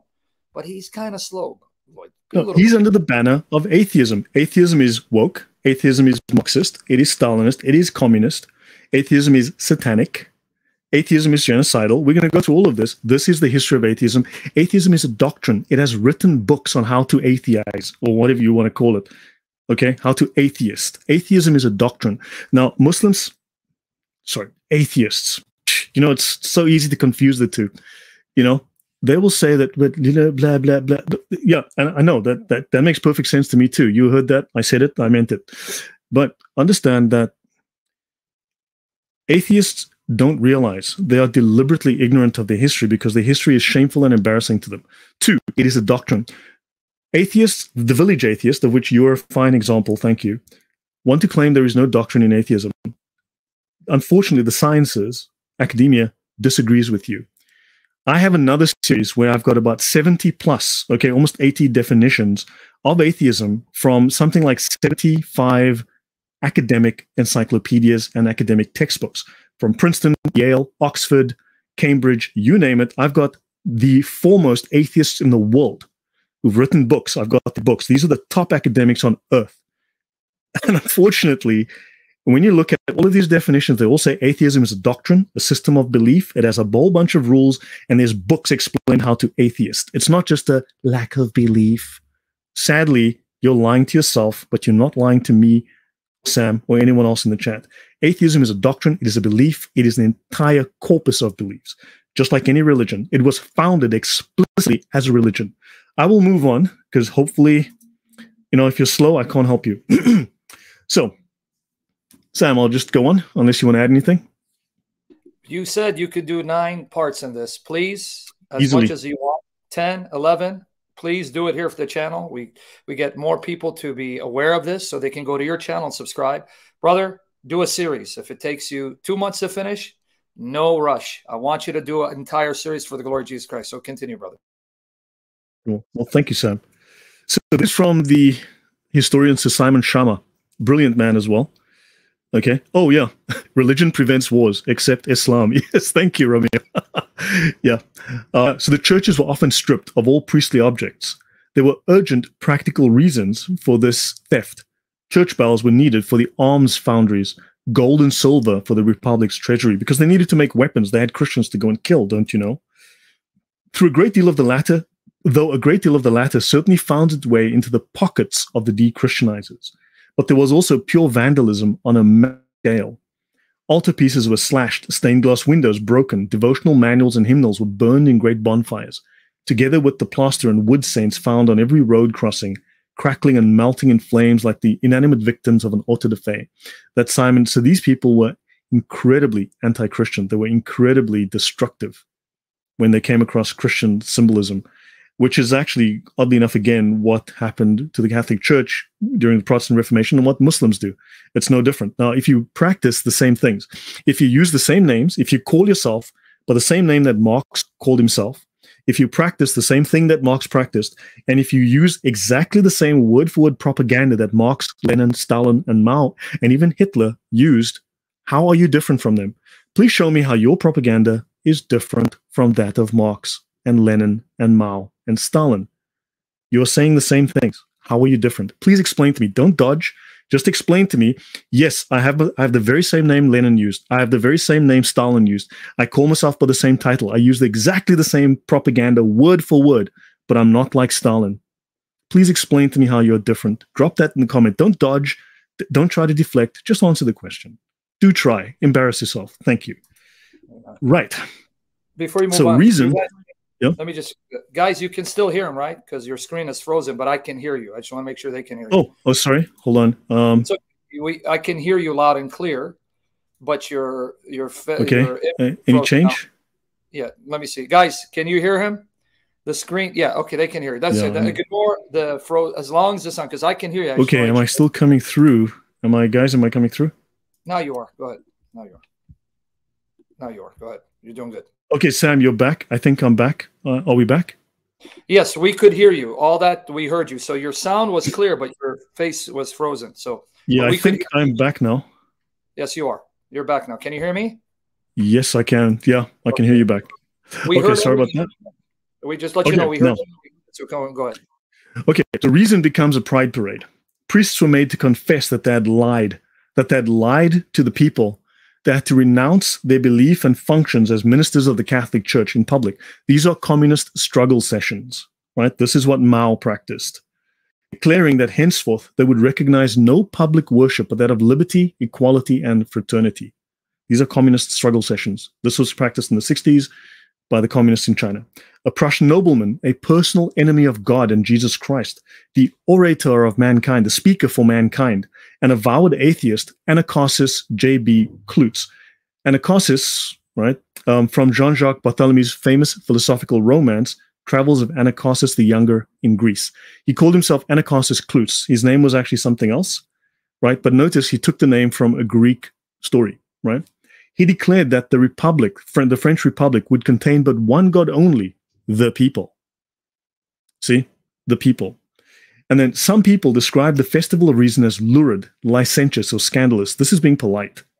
Sexual debauchery was an outcome of this atheistic reason. As we see, atheism had this morality thing tightly dialed in. You know, having sex on the altar at, at Notre Dame, you know, that, that's that's reasonable, right? Let me continue. Now, the word lurid means causing horror or revulsion, gruesome, right? melodramatic, sensational, also shocking. So they went in for the shocking. They went in for the sensational, for the gruesome. They wanted to cause revulsion. Licentious means formal disapproving, especially of a person or their behavior sexual in an uncontrolled and socially unacceptable way. So when the sexual mores of the church of the Christian West was removed from France, people turned to public sexual debauchery. They had their freedom. They no longer had these moral guidelines. They became sexually perverse. Uh, your thoughts, Sam, before I go on? Yes, we can hear you perfectly loudly and clear. Just let you know your image is frozen. And oh, if you were, can, if can you, I can I step out and then come back in? Sure. Yeah. Yeah. Because yeah. yeah. Go ahead. So let me stop sharing. I'm going to leave the studio, come back into the studio. All right. Because I'm seeing you just fine. On my side, it's looking everything's looking oh, normal. I will leave change your slide. Your slide was still on enlightenment and vandalism. Okay, I will leave and come back. Okay. He'll be back, guys. Man, I got to shave. I'm looking older, guys. Each night, each day I live, I live to be the very best. Did you hear about that vandalism? You caught it, right? Pray in Jesus' name. The Lord Jesus blesses the internet connection, the audio visual qualities, and rebukes Satan from distracting us. But you caught it? Vandalism. Does that sound? Does that sound like something that's happening now? Vandalism. Hmm. The woke crowd, when they get riled up, they go around and vandalize stores and statues. Vandalism. Hmm. Does that have an origin somewhere? Hmm. There you go, brother. Go ahead. All right. Yeah. Can everyone see me again? Yes. Everything back to normal? Yep. That's perfect. Okay. Sorry about that. Yeah. Everything looked normal on my side. That was so strange. Everything looked perfect on my end. The kingdom of darkness is getting angry, but he that is in us is greater than he's in the world by the power of the blood of Jesus Christ. So go ahead, brother.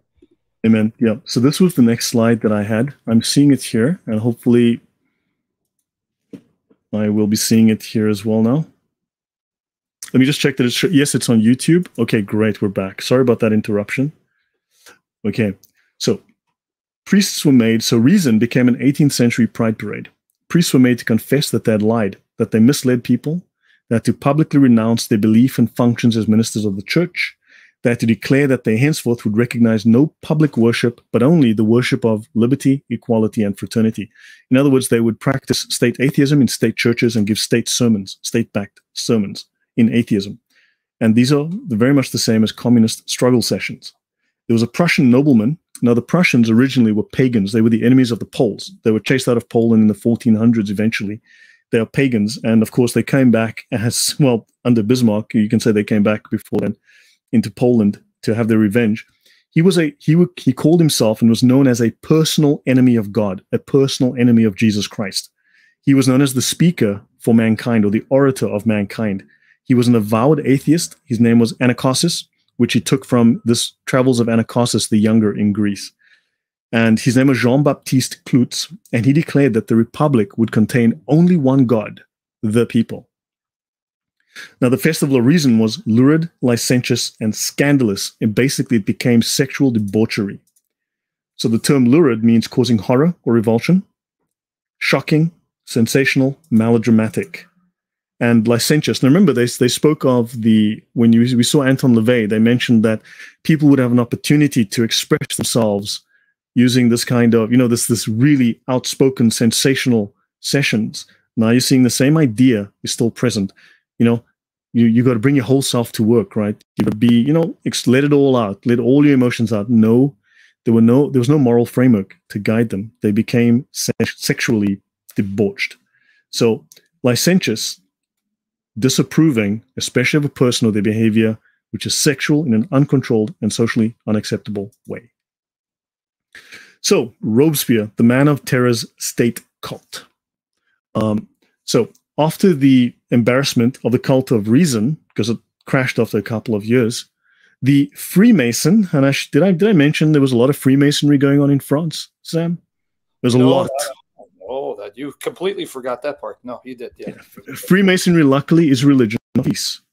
You know, Freemasons mean well.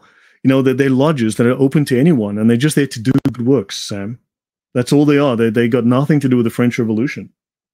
You know, and nothing to do with atheism either, oddly enough. Oddly enough. And so the Freemason Robespierre achieved dictatorial power and decided to establish his own state religion called the Cult of the Supreme Being. Because, hey, let's try this again. You know, re- real, real state atheist religion has never been tried before. so the new deistic religion, and that's that's a long story in its own. The new deistic religion was intended to curb the excesses associated with the de-Christianization movement and the replacement of Catholicism with the new state religion. It briefly lasted to the spring and summer of 1794, lasted even less time. The cult of the supreme being supported the idea of a supreme being and immortality of the soul. Let's just say they realized they needed to give people something. So they needed a fake religion that was kind of half Christianity and half not. However, it was not consistent with Christian doctrine, as the only way virtue could be attained was through fidelity and devotion to the state, to the state idea of liberty and democracy. Now we go back to Plutarch. You see, you must be a servant of the state. It's fascist as well, as someone said earlier. You know, everything within the state, nothing outside the state, everything for the state. So yeah, yeah. And this is this is public history. This is nothing that I'm I'm not making up anything here. Uh, Sam, what are you getting out of this so far? And it, it's it's actually it's frightening to see how this is now being implemented.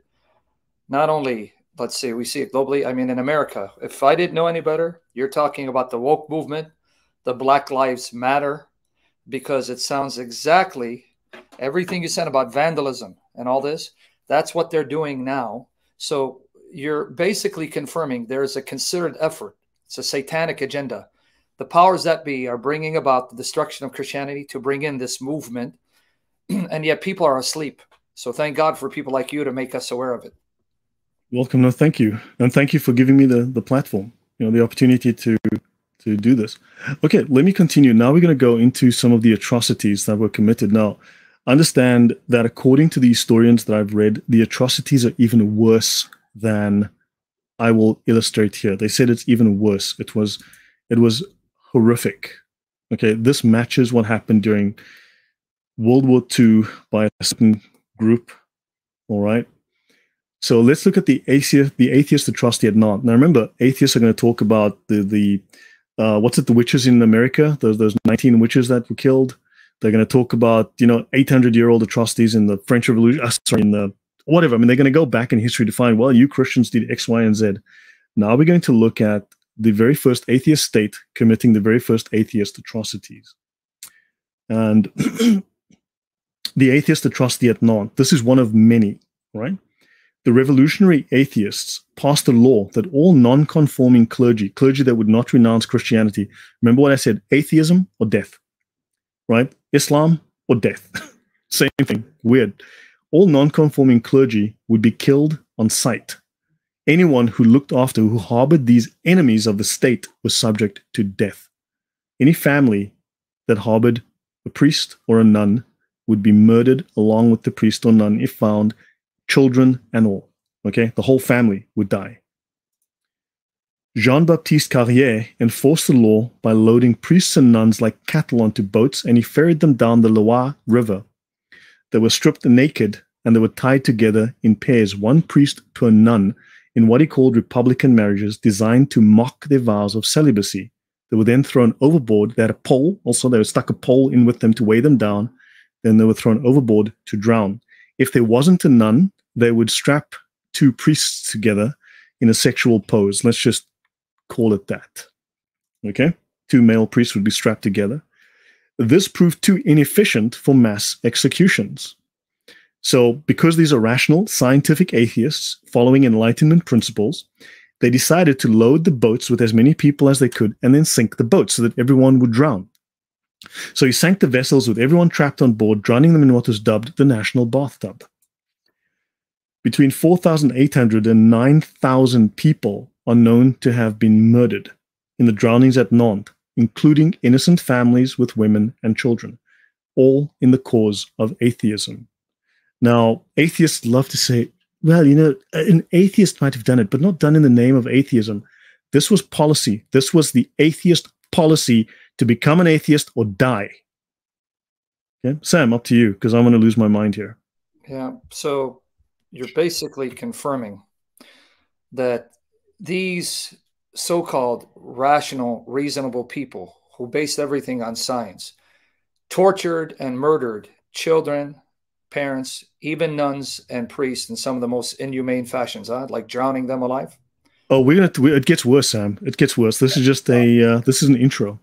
But see, here's the problem with you. You don't see that this is very reasonable. You don't get it. This is reasonable what they're doing. See, that's your problem. Even you did with Islam. You just don't. Anyway. I told you, I'm from Africa. That's one strike against me, right? I attended a school for emotionally disturbed teachers. That's another strike against me. Okay, so so yeah, man, I'm trying. I'm trying, man. I'm trying. You know. So, according to historian Reynald Secher, a Frenchman who grew up in this area where these, where these, where this particular genocide happened, these murders are one component of a systematic government policy of extermination of the residents of the Vendée, planned by the Revolutionary Committee of Public Safety. They were called the Committee of Public Safety, and they were approved by vote, and they were passed into law of the National Convention in Paris on 1 October 1793. Actually, so while I'm here, I need to maybe bring this up. So part of public safety included that they exterminate people that they thought were unsafe. Uh, okay. yeah. Hold on. I need to find the history. You know what? I... Rational. Don't you get it? It's rational, reasonable. To be safe, you got to exterminate, murder those whom you deem to be unfit and unsafe for society. See, but you don't see the rationality. That's the problem. I mean, I can't help you there. I can't help. Okay, you. let me show you this. Let me show you this. Uh, yeah, somehow it accidentally closed. This is in French. Now, the sad thing is, a lot of this information, when you look, like it'll be in French or Turkish or Bulgarian or something that you don't speak, right? Hungarian. This is the Franco-French genocide. This is a Wikipedia page. Now, this this is a very famous scholar, a very famous historian who wrote this, and then it was vetted by other famous historians. yeah, Aron Ra. Yeah, what an a-hole. So, the Franco-French genocide by Reynald Secher. He's a very famous French historian. He grew up in this area called the Vendée. Okay. Let's have a look here. He speaks of the following. According to Reynald Secher's thesis, the repression exercised in the Vendée corresponds to a proto industrial genocide, a legal genocide which manifests itself by the vote. So these people passed laws prescribing the extermination of the men, the deportation of the women and children, and destruction of the territory that burned whole villages down. They prescribed the extermination of the brigands. Okay. Many of the brigands happened to be embryos in the womb, babies and children of whom 110 are known to have been under eight years old. Right? Let's have a look at some of the means of extermination, some of the things these French atheists did, because these people were Catholics and they said no and they fought back. They refused to recant. Okay? Wait, wait before you say that, they were Catholics who would yes. rather be tortured and murdered than recant and deny Jesus Christ, their God and Savior, and justify even, let's say, murder of unborn. So these were yes. Catholics, but according to Luther and Protestants, they were not really Christians. So you don't forget that. So go ahead. In fact, there was never a Catholic church. Do you know that? In fact, in fact, you know what? We are sinning by having churches because you know what? The early Christians only had house churches, and in fact, they were in caves. They were in caves, and they were in they were in catacombs. Now, unless you're following the Bible exactly, unless yeah. you're having a church worship in a cave or a catacomb, you are you are not being a proper Christian, Sam. Am I wrong? Am I reading this right?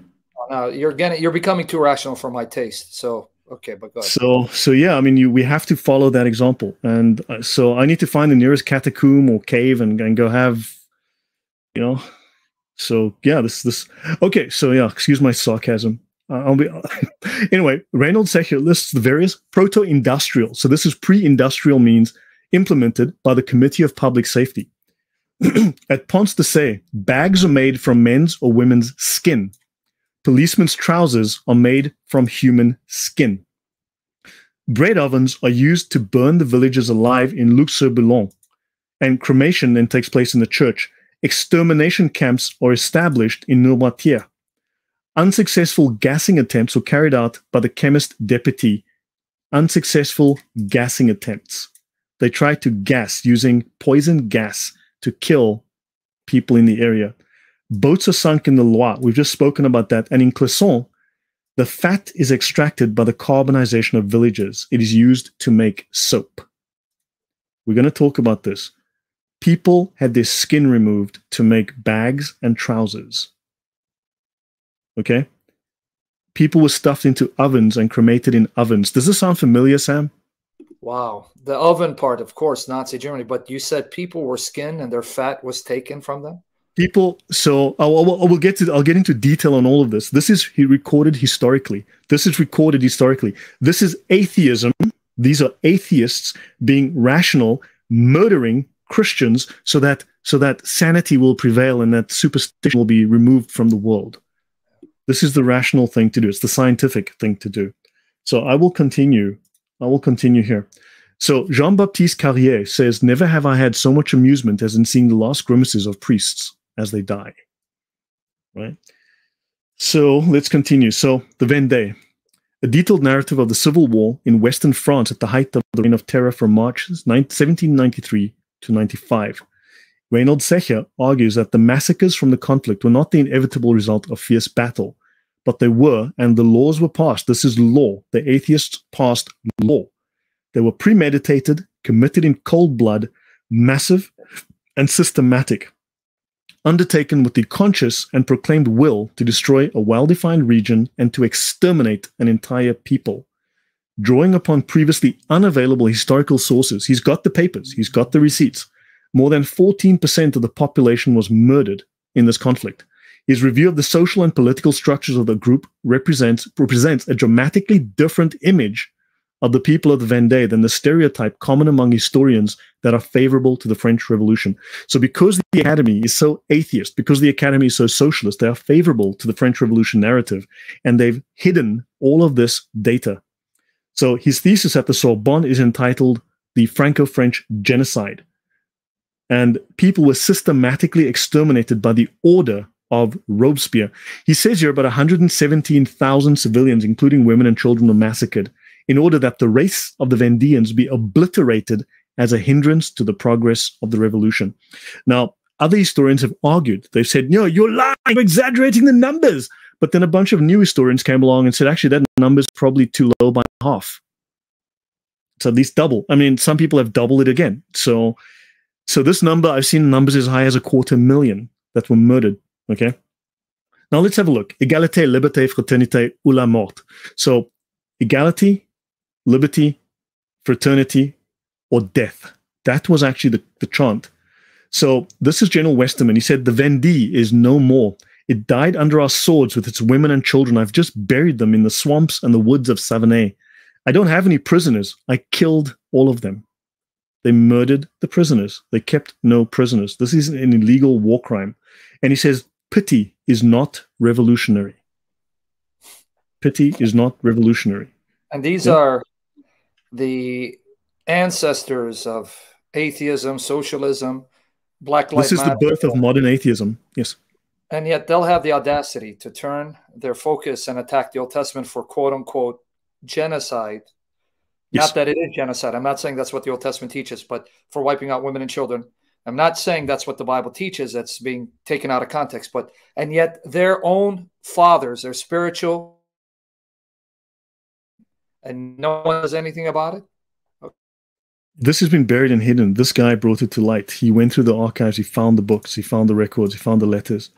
I'll continue. This is called The Vendée, a French genocide by Reynald Secher. He says here, Saint Just, he was one of the guys running this whole campaign, in a report to the Commission of Extraordinary Means dated August 14, 1793. In Meudon, they are tanning human skin. Skin coming from men has a consistency and quality superior to chamois. Chamois is the kind of cloth that you used to use to clean your car with, right? Soft cloth. That from women subjects is suppler, but has less strength. Right? In Clisson, on April 5, 1794, soldiers of General Crouzat burned 150 women to extract the fat from them. We made holes in the ground. We placed cauldrons to catch what fell we had put iron bars above and set the women on top. Then above them was the fire. Two of my comrades were with me for this affair. I sent 10 casks of it or 10 barrels of it to Nantes. It was like embalming fluid. It was used in hospitals. They willfully burned 150 women to death to get their fat. And these women were burned alive. They were being burned alive? To my knowledge, yes and this is atheist, this is rational, this is reasonable. This is atheists because they'll say, well, you know, an atheist did it. It wasn't done in the name of atheism. No, these were atheists making, they were saying, you either become an atheist or you die. And this is what happened. Hundreds of thousands of people died. So, yeah. So understand this is this is this is death in the name of atheism. This is the result of atheism. This is what they hide. This is what they're ashamed of. You can see the French genocide. Okay, the Franco-French genocide. I've just showed you this means of extermination. I've just showed you that article. That's in the French. Now, atheism will end war as soon as they kill everyone who disagrees with them. Because atheists constantly tell me atheism will bring reason and will end war because religion causes wars. That is a lie. That's a flat out lie. So, the president of the district expressed surprise in January 25 your soldiers indulge in debauchery and the horrors of which even cannibals are incapable. Everywhere we go, we bring fire and death. Neither age nor sex nor anything else is respected. Yesterday, we burned a village. They mean they killed everyone in the village by burning them. A volunteer killed three women with his bare hands. It is horrible, but the safety of the Republic urgently requires it. Every person we see, we shoot. The earth is littered with corpses. Rape and the most outrageous barbarity show up at every turn. Republican soldiers rape rebel women on stones piled on the sides of the main roads and then shoot and stab them when they leave their embraces. We have seen others carrying nursing babies on the point of a bayonet or a pike that had run through mother and child in a single stroke. Yes, and it gets worse. Baudisson, general manager of military supplies, said the road from Vire to Cholet was littered with corpses with victims with their throats cut. General Avril rejoiced in having put down the rebels of Saint Lefal to the number of 100. A number of them were roasted when all the houses in town were burned. There were poor girls, completely naked, hanging from tree branches, hands tied behind their backs after having been raped. A girl from La Chapelle was taken by torturers who raped her and then hung her head down from an oak each leg was attached separately to a branch of the tree and then separated from one another as far as possible. In that position, they split her body in two with a sword all the way to her head and then cut her in two. In the castle, in the castle of La Vrelay, whatever, Frenchy, a, two girls tried they tried to take two girls away as prisoners. One of them clung to her crippled mother's chair. A soldier, furious at being unable to make her let go, took his sword and cut off her hand. In other cases, women were thrown out of windows onto bayonets pointed in their direction. There were many more atrocities on that day. And there's a street where the corpses were piled up and from which flowed a stream of blood as far as Le Guigneux. And children in their cradles were pierced and still carried breathing on the points of bayonets. And in fact, there are reports, written reports, that state that they would have babies on bayonets and they would throw babies also off the balconies, catch them on bayonets, and then they would throw them from bayonet to bayonet. They would throw the babies and catch them again on the bayonets because they weren't atheists, they deserved to die. They were enemies of the state because they were not atheist. So, yeah, so guys, does this put a different spin on atheism? Does this tell you how satanic, how immoral, how depraved, how violent, how disgusting atheism actually is when it has power. Sam, your thoughts so far? I want people to pay attention. This is actual history, historical facts that's documented. So here's my, I just, and I don't want to belabor the point. Here's my statement to you, effeminate sissies out there. You who think you're doing Jesus a favor and you think that you're being pious by being weak, effeminate queers. I'm sorry, I'm politically incorrect. It is this effeminate Christianity that's going to get us murdered. There's nothing in the Bible that says you cannot defend your life, the life of your loved ones, the life of those who cannot defend for themselves, and the life and of your land. If this isn't proof, you need to be ready and armed and prepared to defend these young children like these girls. You see what they did to one girl? Not only did they rape her, but they split her in half. Or this other girl was holding to the chair of her crippled mother and they cut off her hand and taking babies and flinging them on bayonets or throwing them off where there's a bayonet waiting for them to land on. If this doesn't encourage you to be prepared to defend your life, the life of your parents, the life of your children, your spouses, especially children who cannot protect themselves, because you think Jesus wants you to be a pacifist you are a disgrace. You are disgusting and you are the trouble because your effeminate form of Christianity will bring destruction upon Christianity. May God preserve his church and make us not just militant spiritually, but militarily if we have to. So go ahead, brother. I just. Yeah. So do you understand? This is satanic. This is depraved. This is no different to what the communists did. This is no different to what Mr. Little Mustache did. This is the source of that. This is the philosophy that birthed that. Atheism was born in blood, it was born in irrationality, and they dare to call you irrational. They dare to call your beliefs. This is atheist atrocity committed by atheists in the name of atheism who consciously wrote laws to murder Christians. Right? So I don't know why they don't teach this in school. They must have, maybe you missed school that day. Possibly you had a fever and stayed at home You know, you could have been on the bus and got to school five minutes late when they covered this. You never know. So, yeah. So but yes. Someone's asking about. Hmm? I just put his link to the YouTube channel in the description box and I pinned it. Go to his YouTube channel, subscribe, and there on the about page he has links. And you have a patron, or you said you had some other form, not patron. I have something else. Yeah, I don't. I don't have a patron, but maybe I should start one. But yeah, I mean, yeah. I, I appreciate the support. This is just research is time consuming, and it, I have to get materials and yeah. And on top of that, he's working a job. So imagine if he did this full time. So pray for his support. Pray for our support. God will bless us. Go to his YouTube channel. You find information there. And he's got series on this on his channel, but I'm going to have him do it here as well because I'm trying to get him more traffic, more people. He needs to go viral for the glory of Christ. So continue, brother. Yeah. So this is what they did. This is what atheists did. You need to confront them with this. You seriously, the atheists have no leg to stand on. Once you look at the religion of atheism, at its history, it is it is sick. It is vile. Kendrick says, "Yeah, I'm currently in high school." Well, people in university have not heard of this, which is which is frightening, right? A surgeon named Thomas wrote, "I've seen women and men burned. I've seen 150 soldiers mistreat and rape women girls of 14 and 15 and then massacre them and toss from bayonet to bayonet tender infants left next to their mothers stretched out on the ground. Now, yeah. So what can I say about that? Um, I just showed you the name of the book on this. I mean, hello. I mean, I just old. I just showed you the name of the author, the name of the book. I just, I just showed you. Like, yeah, he wants to probably get it for his own personal library. So go back rewatch it. But Lloyd, uh, the way you're describing these atrocities, and you've done a lot of study, and uh, yeah. I don't want to take much time, but atheists are even more barbaric and brutal in the way they torture, torture, murder people than even Muslims, right? Um, I would think so because there is a certain there's a certain set of rules, morality. But don't forget, the atheists wanted to break all rules. They have no rules to to break all norms. They're more they're worse animals than Muslims because Muslims have Do certain rules. Yeah. yeah.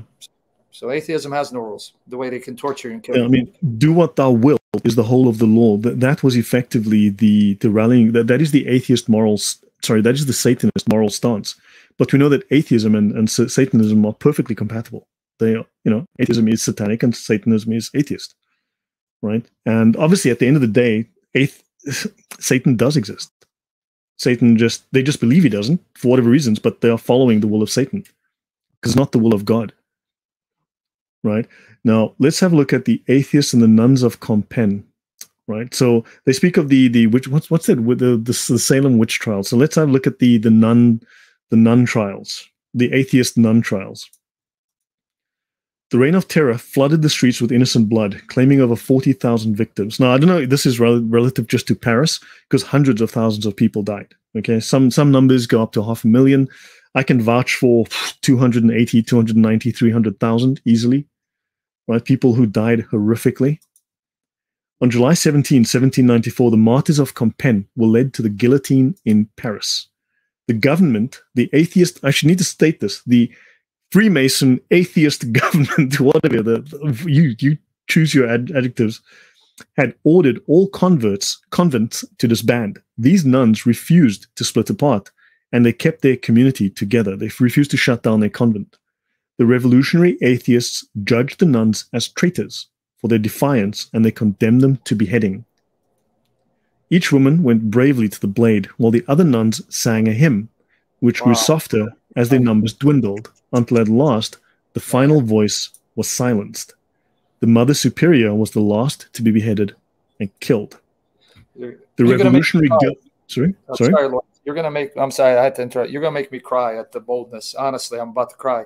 So here you have. Oh man, I'm sorry. I don't want to cut you off, but do you see that? Nuns who love Jesus Christ more than their life, who went to the guillotine singing hymns praising Jesus like the early church fathers died boldly without recanting. These women showing more bravery than us men. Go ahead, brother. I just had to say that. No, you're right. That's fine. Interrupt anytime. Um, that's actually good. I prefer to have a conversation than give a lecture. You know, I'd rather have an interaction and take questions and stuff. You know, I prefer feedback. I mean, I don't want you to just sit there and say nothing because then it's like, okay, but, you know. The reason why I'm silent is because I'm astonished. I'm blown away by your quotes. That's why I'm not interacting because I'm, I'm you're blowing my mind. If you see, read the comments, this stuff I've never heard. and I'm in silence because I'm shocked at what I'm hearing. That's why I'm not saying much. I'm shocked, literally blown away at the filthy, evil, torturous, murderous actions of atheists that no one talks about. Yeah. Yeah. So the revolutionary government of France fell just 10 days after the nuns were murdered. And I should mention that the guillotine is named after the Freemason and atheist Joseph Ignace Guillotin. He didn't invent it, but it is named after the Freemason. So if you want to, if you want to tell me Freemasonry is a religion of peace, I'll tell you to f off. Yeah, sorry, man. This upsets me. This makes me very, very angry. Uh, to know this and to have done all this reading and done all this work no. Sam, your thoughts before I go on. Folks, you even see where the word guillotine came from. A man, a Freemason. Do you see that? I had never, I had no idea. It's named in honor of this filthy scum. It's insult to call him filth and scum because filth and scum is better than this low life bastard. Even low lives and bastards are better than him. So the guillotine comes after this man, Freemason. You see, who would have known this? Because they're not teaching you this. What they're teaching you is Gay Pride Month, June, LGBT, LGBTQFU, like he said. So thank you for sharing this. So I want you to do a series, and I pray God will bless you in your work and you prosper for His glory, because we need to educate the masses. Because you see, a lot of people are shocked. We didn't know this. I know it's, shocking to me as well. So I'll wind down at this point. I'll do the last few slides. So we're gonna. So hopefully, I've been tying atheism to Satanism, to uh, to genocide, to socialism. We're going to be doing a lot of tying it to socialism. We're going to do a. We're going to spend a significant amount of time. And just so you know, spoiler: socialism was designed explicitly and specifically as an atheistic religion. Socialism is a religion. It is a theology. Please understand this. Atheism is a theology. These were designed specifically to replace Catholicism, right? The church in general, but Catholicism in specific they wanted a religion that they could utilize for their own beliefs, a container to hold their own beliefs, but to strip everything of the divine from it. So now we're going to have a look at a man called Kropotkin. And this is his book, The Great French Revolution. Of course, it was great because lots of scholars, lots of atheists, lots of crazy people, lots of people love their violence, think it was awesome, you know, because this was the atheist wet dream, right? The French Revolution was the atheist wet dream. So, yeah, Peter Kropotkin. What we learn today from the study of the Great Revolution is that it was the source and origin of all the present communist, anarchist, and socialist conceptions.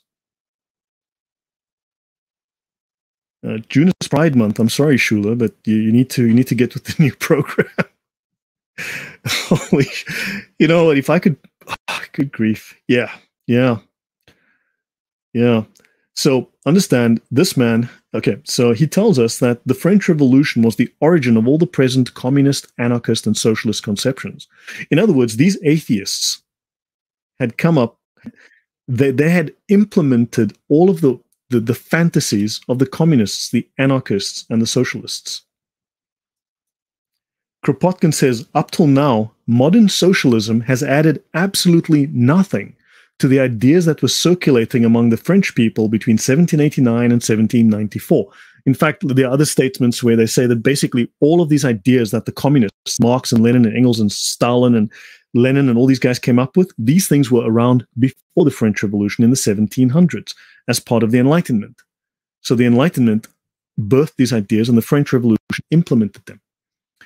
And so modern socialism added absolutely nothing to the ideas that were circulating in the French Revolution and which it was tried to put into practice in the year two of the Republic during the Reign of Terror. So these are socialist ideals. This was the socialist atheist revolution, the very first one in history. Anarcho-communism's main theorist is Peter Kropotkin. He was a child of the Enlightenment and the Scientific Revolution. He was a wealthy man, I believe, born into a wealthy family or a noble family. He assumed that religion would be replaced by science and that the church, as well as the state, would be abolished. You see, Just like these atheists, these radical Enlightenment thinkers wanted everything to be abolished. Religion would be replaced by science, and the church and the state would be abolished. The noblest man, the one really greatest of them all, was Prince Peter Kropotkin, a self professed atheist. What a surprise. My gosh, I thought he'd be a Baptist. Wow. and a great man of science. And that's from Eli Robert Erskine, October 1941, the New York World Telegram newspaper. And the Soviet atheists, as you know, were all scientific atheists, and they also used the title militant atheists. Before I go on, Sam, over to you. So you, let me get this straight. I thought these guys were all Catholics and Orthodox. That's why the Protestants formed and sought the help of the Ottoman because these were nasty, evil Orthodox and Catholics. But you're telling me they're atheists? Are you sure you're not making up forged statements, sir? That sounds like a Catholic and Orthodox man. Um. yeah, I know. Okay. Nothing to do yeah. with Islam. Nothing to do with Islam. Just remember that moniker. It's got nothing to do with atheism, Sam. It's got nothing to. We want to prove during the series this has nothing to do with atheism. It's it might be standing next to atheism. It might be touching atheism. It might be part and parcel of atheism. Atheism might have its shoes in it. It might be standing neck deep, but it's nothing to do with atheism. Hopefully, we're establishing that. now, just so by the way, Russian anarchist, zoologist, geographer, and revolutionist. He argued for a decentralized and cooperative anarchism that sought to replace the government with voluntary associations between people. Of course, the government would force voluntary associations because you couldn't have any of your own personal associations, now could you? He was a leading theorist of anarchist communism and advocate for mutual aid, free education. We will discover that free education was something that Marx desperately wanted, and public ownership of the means of production. Oh, that sounds very Marxist right there. He wrote about, and he's an atheist, he wrote about the advancement of knowledge through anarchist thinking, drawing heavily upon Charles Darwin and Herbert Spencer. Herbert Spencer, right, he invented the term social Darwinism, right? And he also created the phrase survival of the fittest. Just, you know, that was Herbert Spencer. Darwin has blood in his hands. Charles Darwin, I need to do a talk on Charles Darwin and Marx and Charles Darwin and Hitler. Please. Man, Charles Darwin has serious blood on his hands. Yeah. Filthy dog. But we- know that atheists love Saint Charles Darwin because Saint Charles Darwin created a, a creation myth without God. Actually, no, he created the origin of species. He did not do anything to do on the origin of life. But but that's a small fact that that they just ignore. Was Charles Darwin a racist? Weren't all of these French revolutionary thinkers a racist? I mean, that's the you're asking the wrong question. Were they all racist? The answer is yes. If that was your question, wasn't Charles Darwin? Everybody, all of them, the whole lot of them were racist. Just just deal with it. So maybe I should end here, Sam. I think I've done plenty. I'll, I'll end here.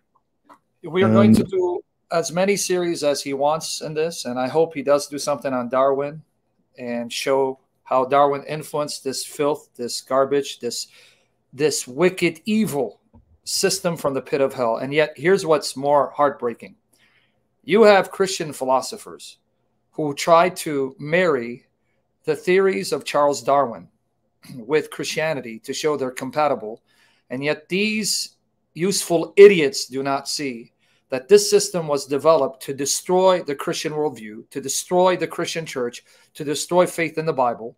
But now they're adopting it and trying to marry it with Christianity. And some of them are world renowned, like William Lane Craig. May God rebuke and chasten them to repent of this filth, and the Lord save people from their influence. So just wanted to uh, highlight that. There was one point I wanted to see. You said you read something free education. This is what I want to comment. Did you guys see.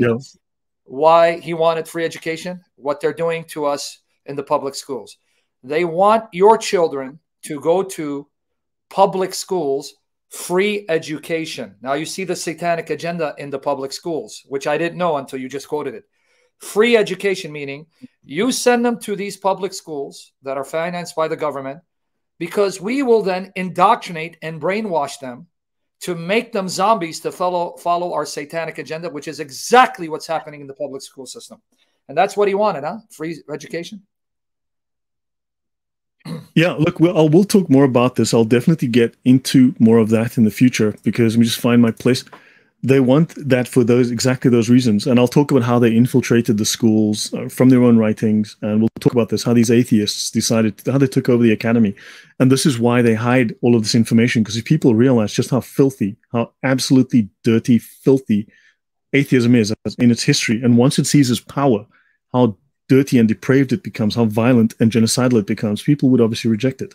That's why atheists have to use sophistry to claim it's just a lack of belief so that you don't look any further beyond that. Just to let you know, guys, now I can see why I go into a lot of spiritual warfare when Lloyd is coming on. I'll leave with this because he's going to come back. You guys do not understand. I'm not exaggerating. Every time I'm about to do a show with him, something happens to me. I'm not exaggerating. You may think I'm lying because I said Thursdays is his day. I'm not lying to you that when Thursday comes around, something happens that distracts me where I can't bring him on. Now I'm seeing why. It's now clear as day to me that because God has blessed him with this information that is revolutionary and will expose and destroy the atheist Islamic agenda, glory to Jesus Christ for raising up people like him. May the Lord preserve him and fully enable him to do this. The things that happen to me, the things I get distracted, I go through emotional depression. I have to then suspend our stream for another day because he was supposed to be on last week. So, guys, if you really thank the Lord Jesus for servants like him, you need to be covering all of us, him, his family, me, in prayer. You need to go to his YouTube channel, subscribe. You need to ask the Lord to help you to help him get to the point where he can devote himself entirely to ministry because we're all in ministry, but he has to work as well until he gets to that level. And you need to share these links, his YouTube channel's material in this session. It's yours to upload. Spread it wide and far so that people can see how filthy and evil atheism is. It's, in my estimation, I thought Islam was bad. What he just showed me, and this is the beginning, it makes Islam pale by comparison. I have to be honest with you. So support this man, pray for him, Go to his YouTube channel, invite him to your platforms. He's willing to come. Make this man's material go viral for the glory of Jesus and pray he gets to the point where he can be fully funded. Pray for my health and safety and protection because I'm not lying. Every time I bring this guy on, something happens. Am I exaggerating, Lloyd? How many times no. I've had to cancel because of many problems. You've had problems. You know, I what is strange is sometimes when I'm streaming, I'm having these crazy, weird technical issues that yes. I don't have. I set up and then suddenly, you know, things. It's weird. It's like it's like the message. Something doesn't want the message to. It, it is weird. That's why um, I'm devoted to bringing you on because the more attack I get because of you, that means Satan hates you, Satan is angry, and Jesus Christ our Lord will be glorified. That's why, by the power of the blood of Jesus covering us, you're going to keep coming back. So yeah. glory. Um, there was a question about James Lindsay and Marxism is more Gnostic. Marxism is also satanic he claims atheism, but atheism is often a cover for Satanism. Atheism is often a cover to hide other activities. It's it's it's a vague.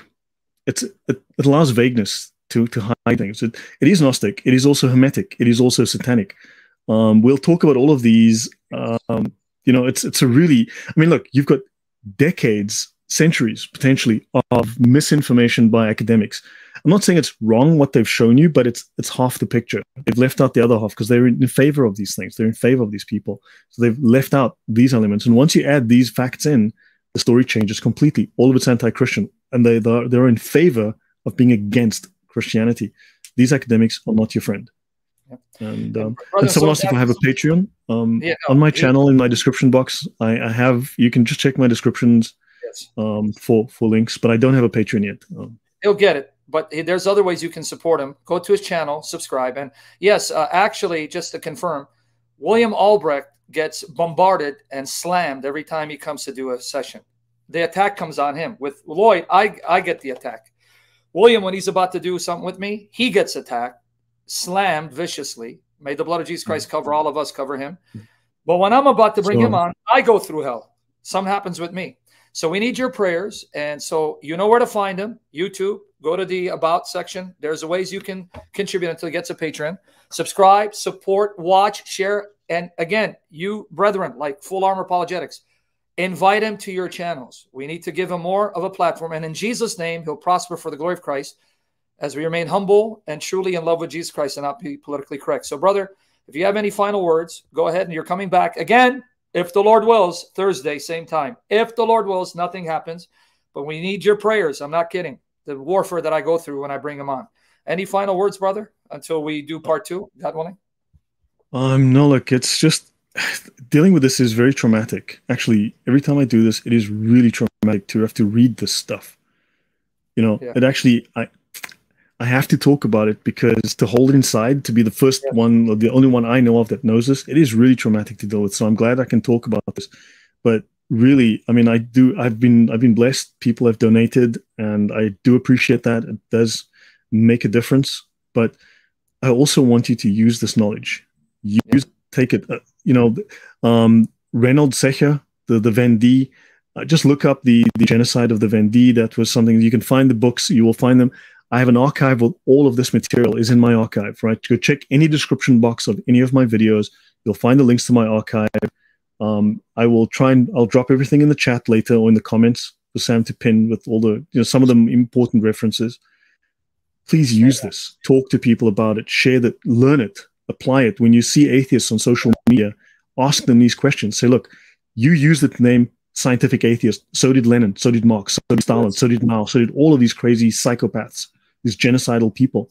You use the same title and you are literally repeating the same propaganda. How are you different? You know, asking these questions, confront them. They will never answer you because it's embarrassing, but put it out there. Ask them, how is your propaganda different to that of Hitler or Stalin? How are you different? You're saying the same things.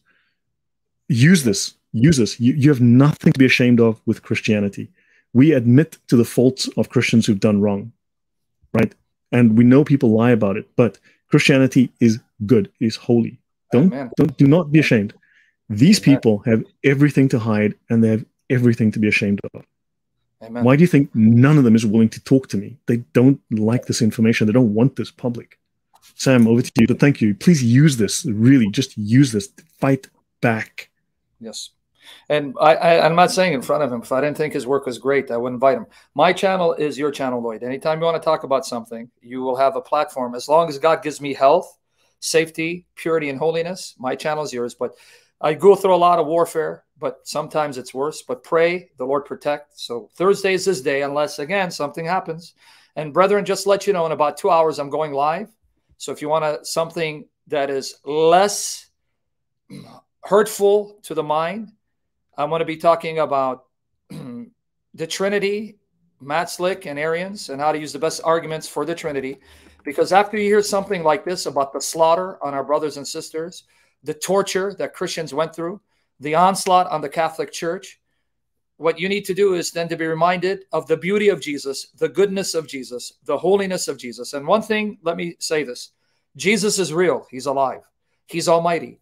The blood of his martyrs are not in vain. As one church writer said, the blood of the martyrs is a seed of the church. When Jesus sees his people being killed for his glory, the Spirit then arises in majestic, sovereign, glorious power and moves mightily to bring revival, salvation, and to destroy the kingdom of darkness.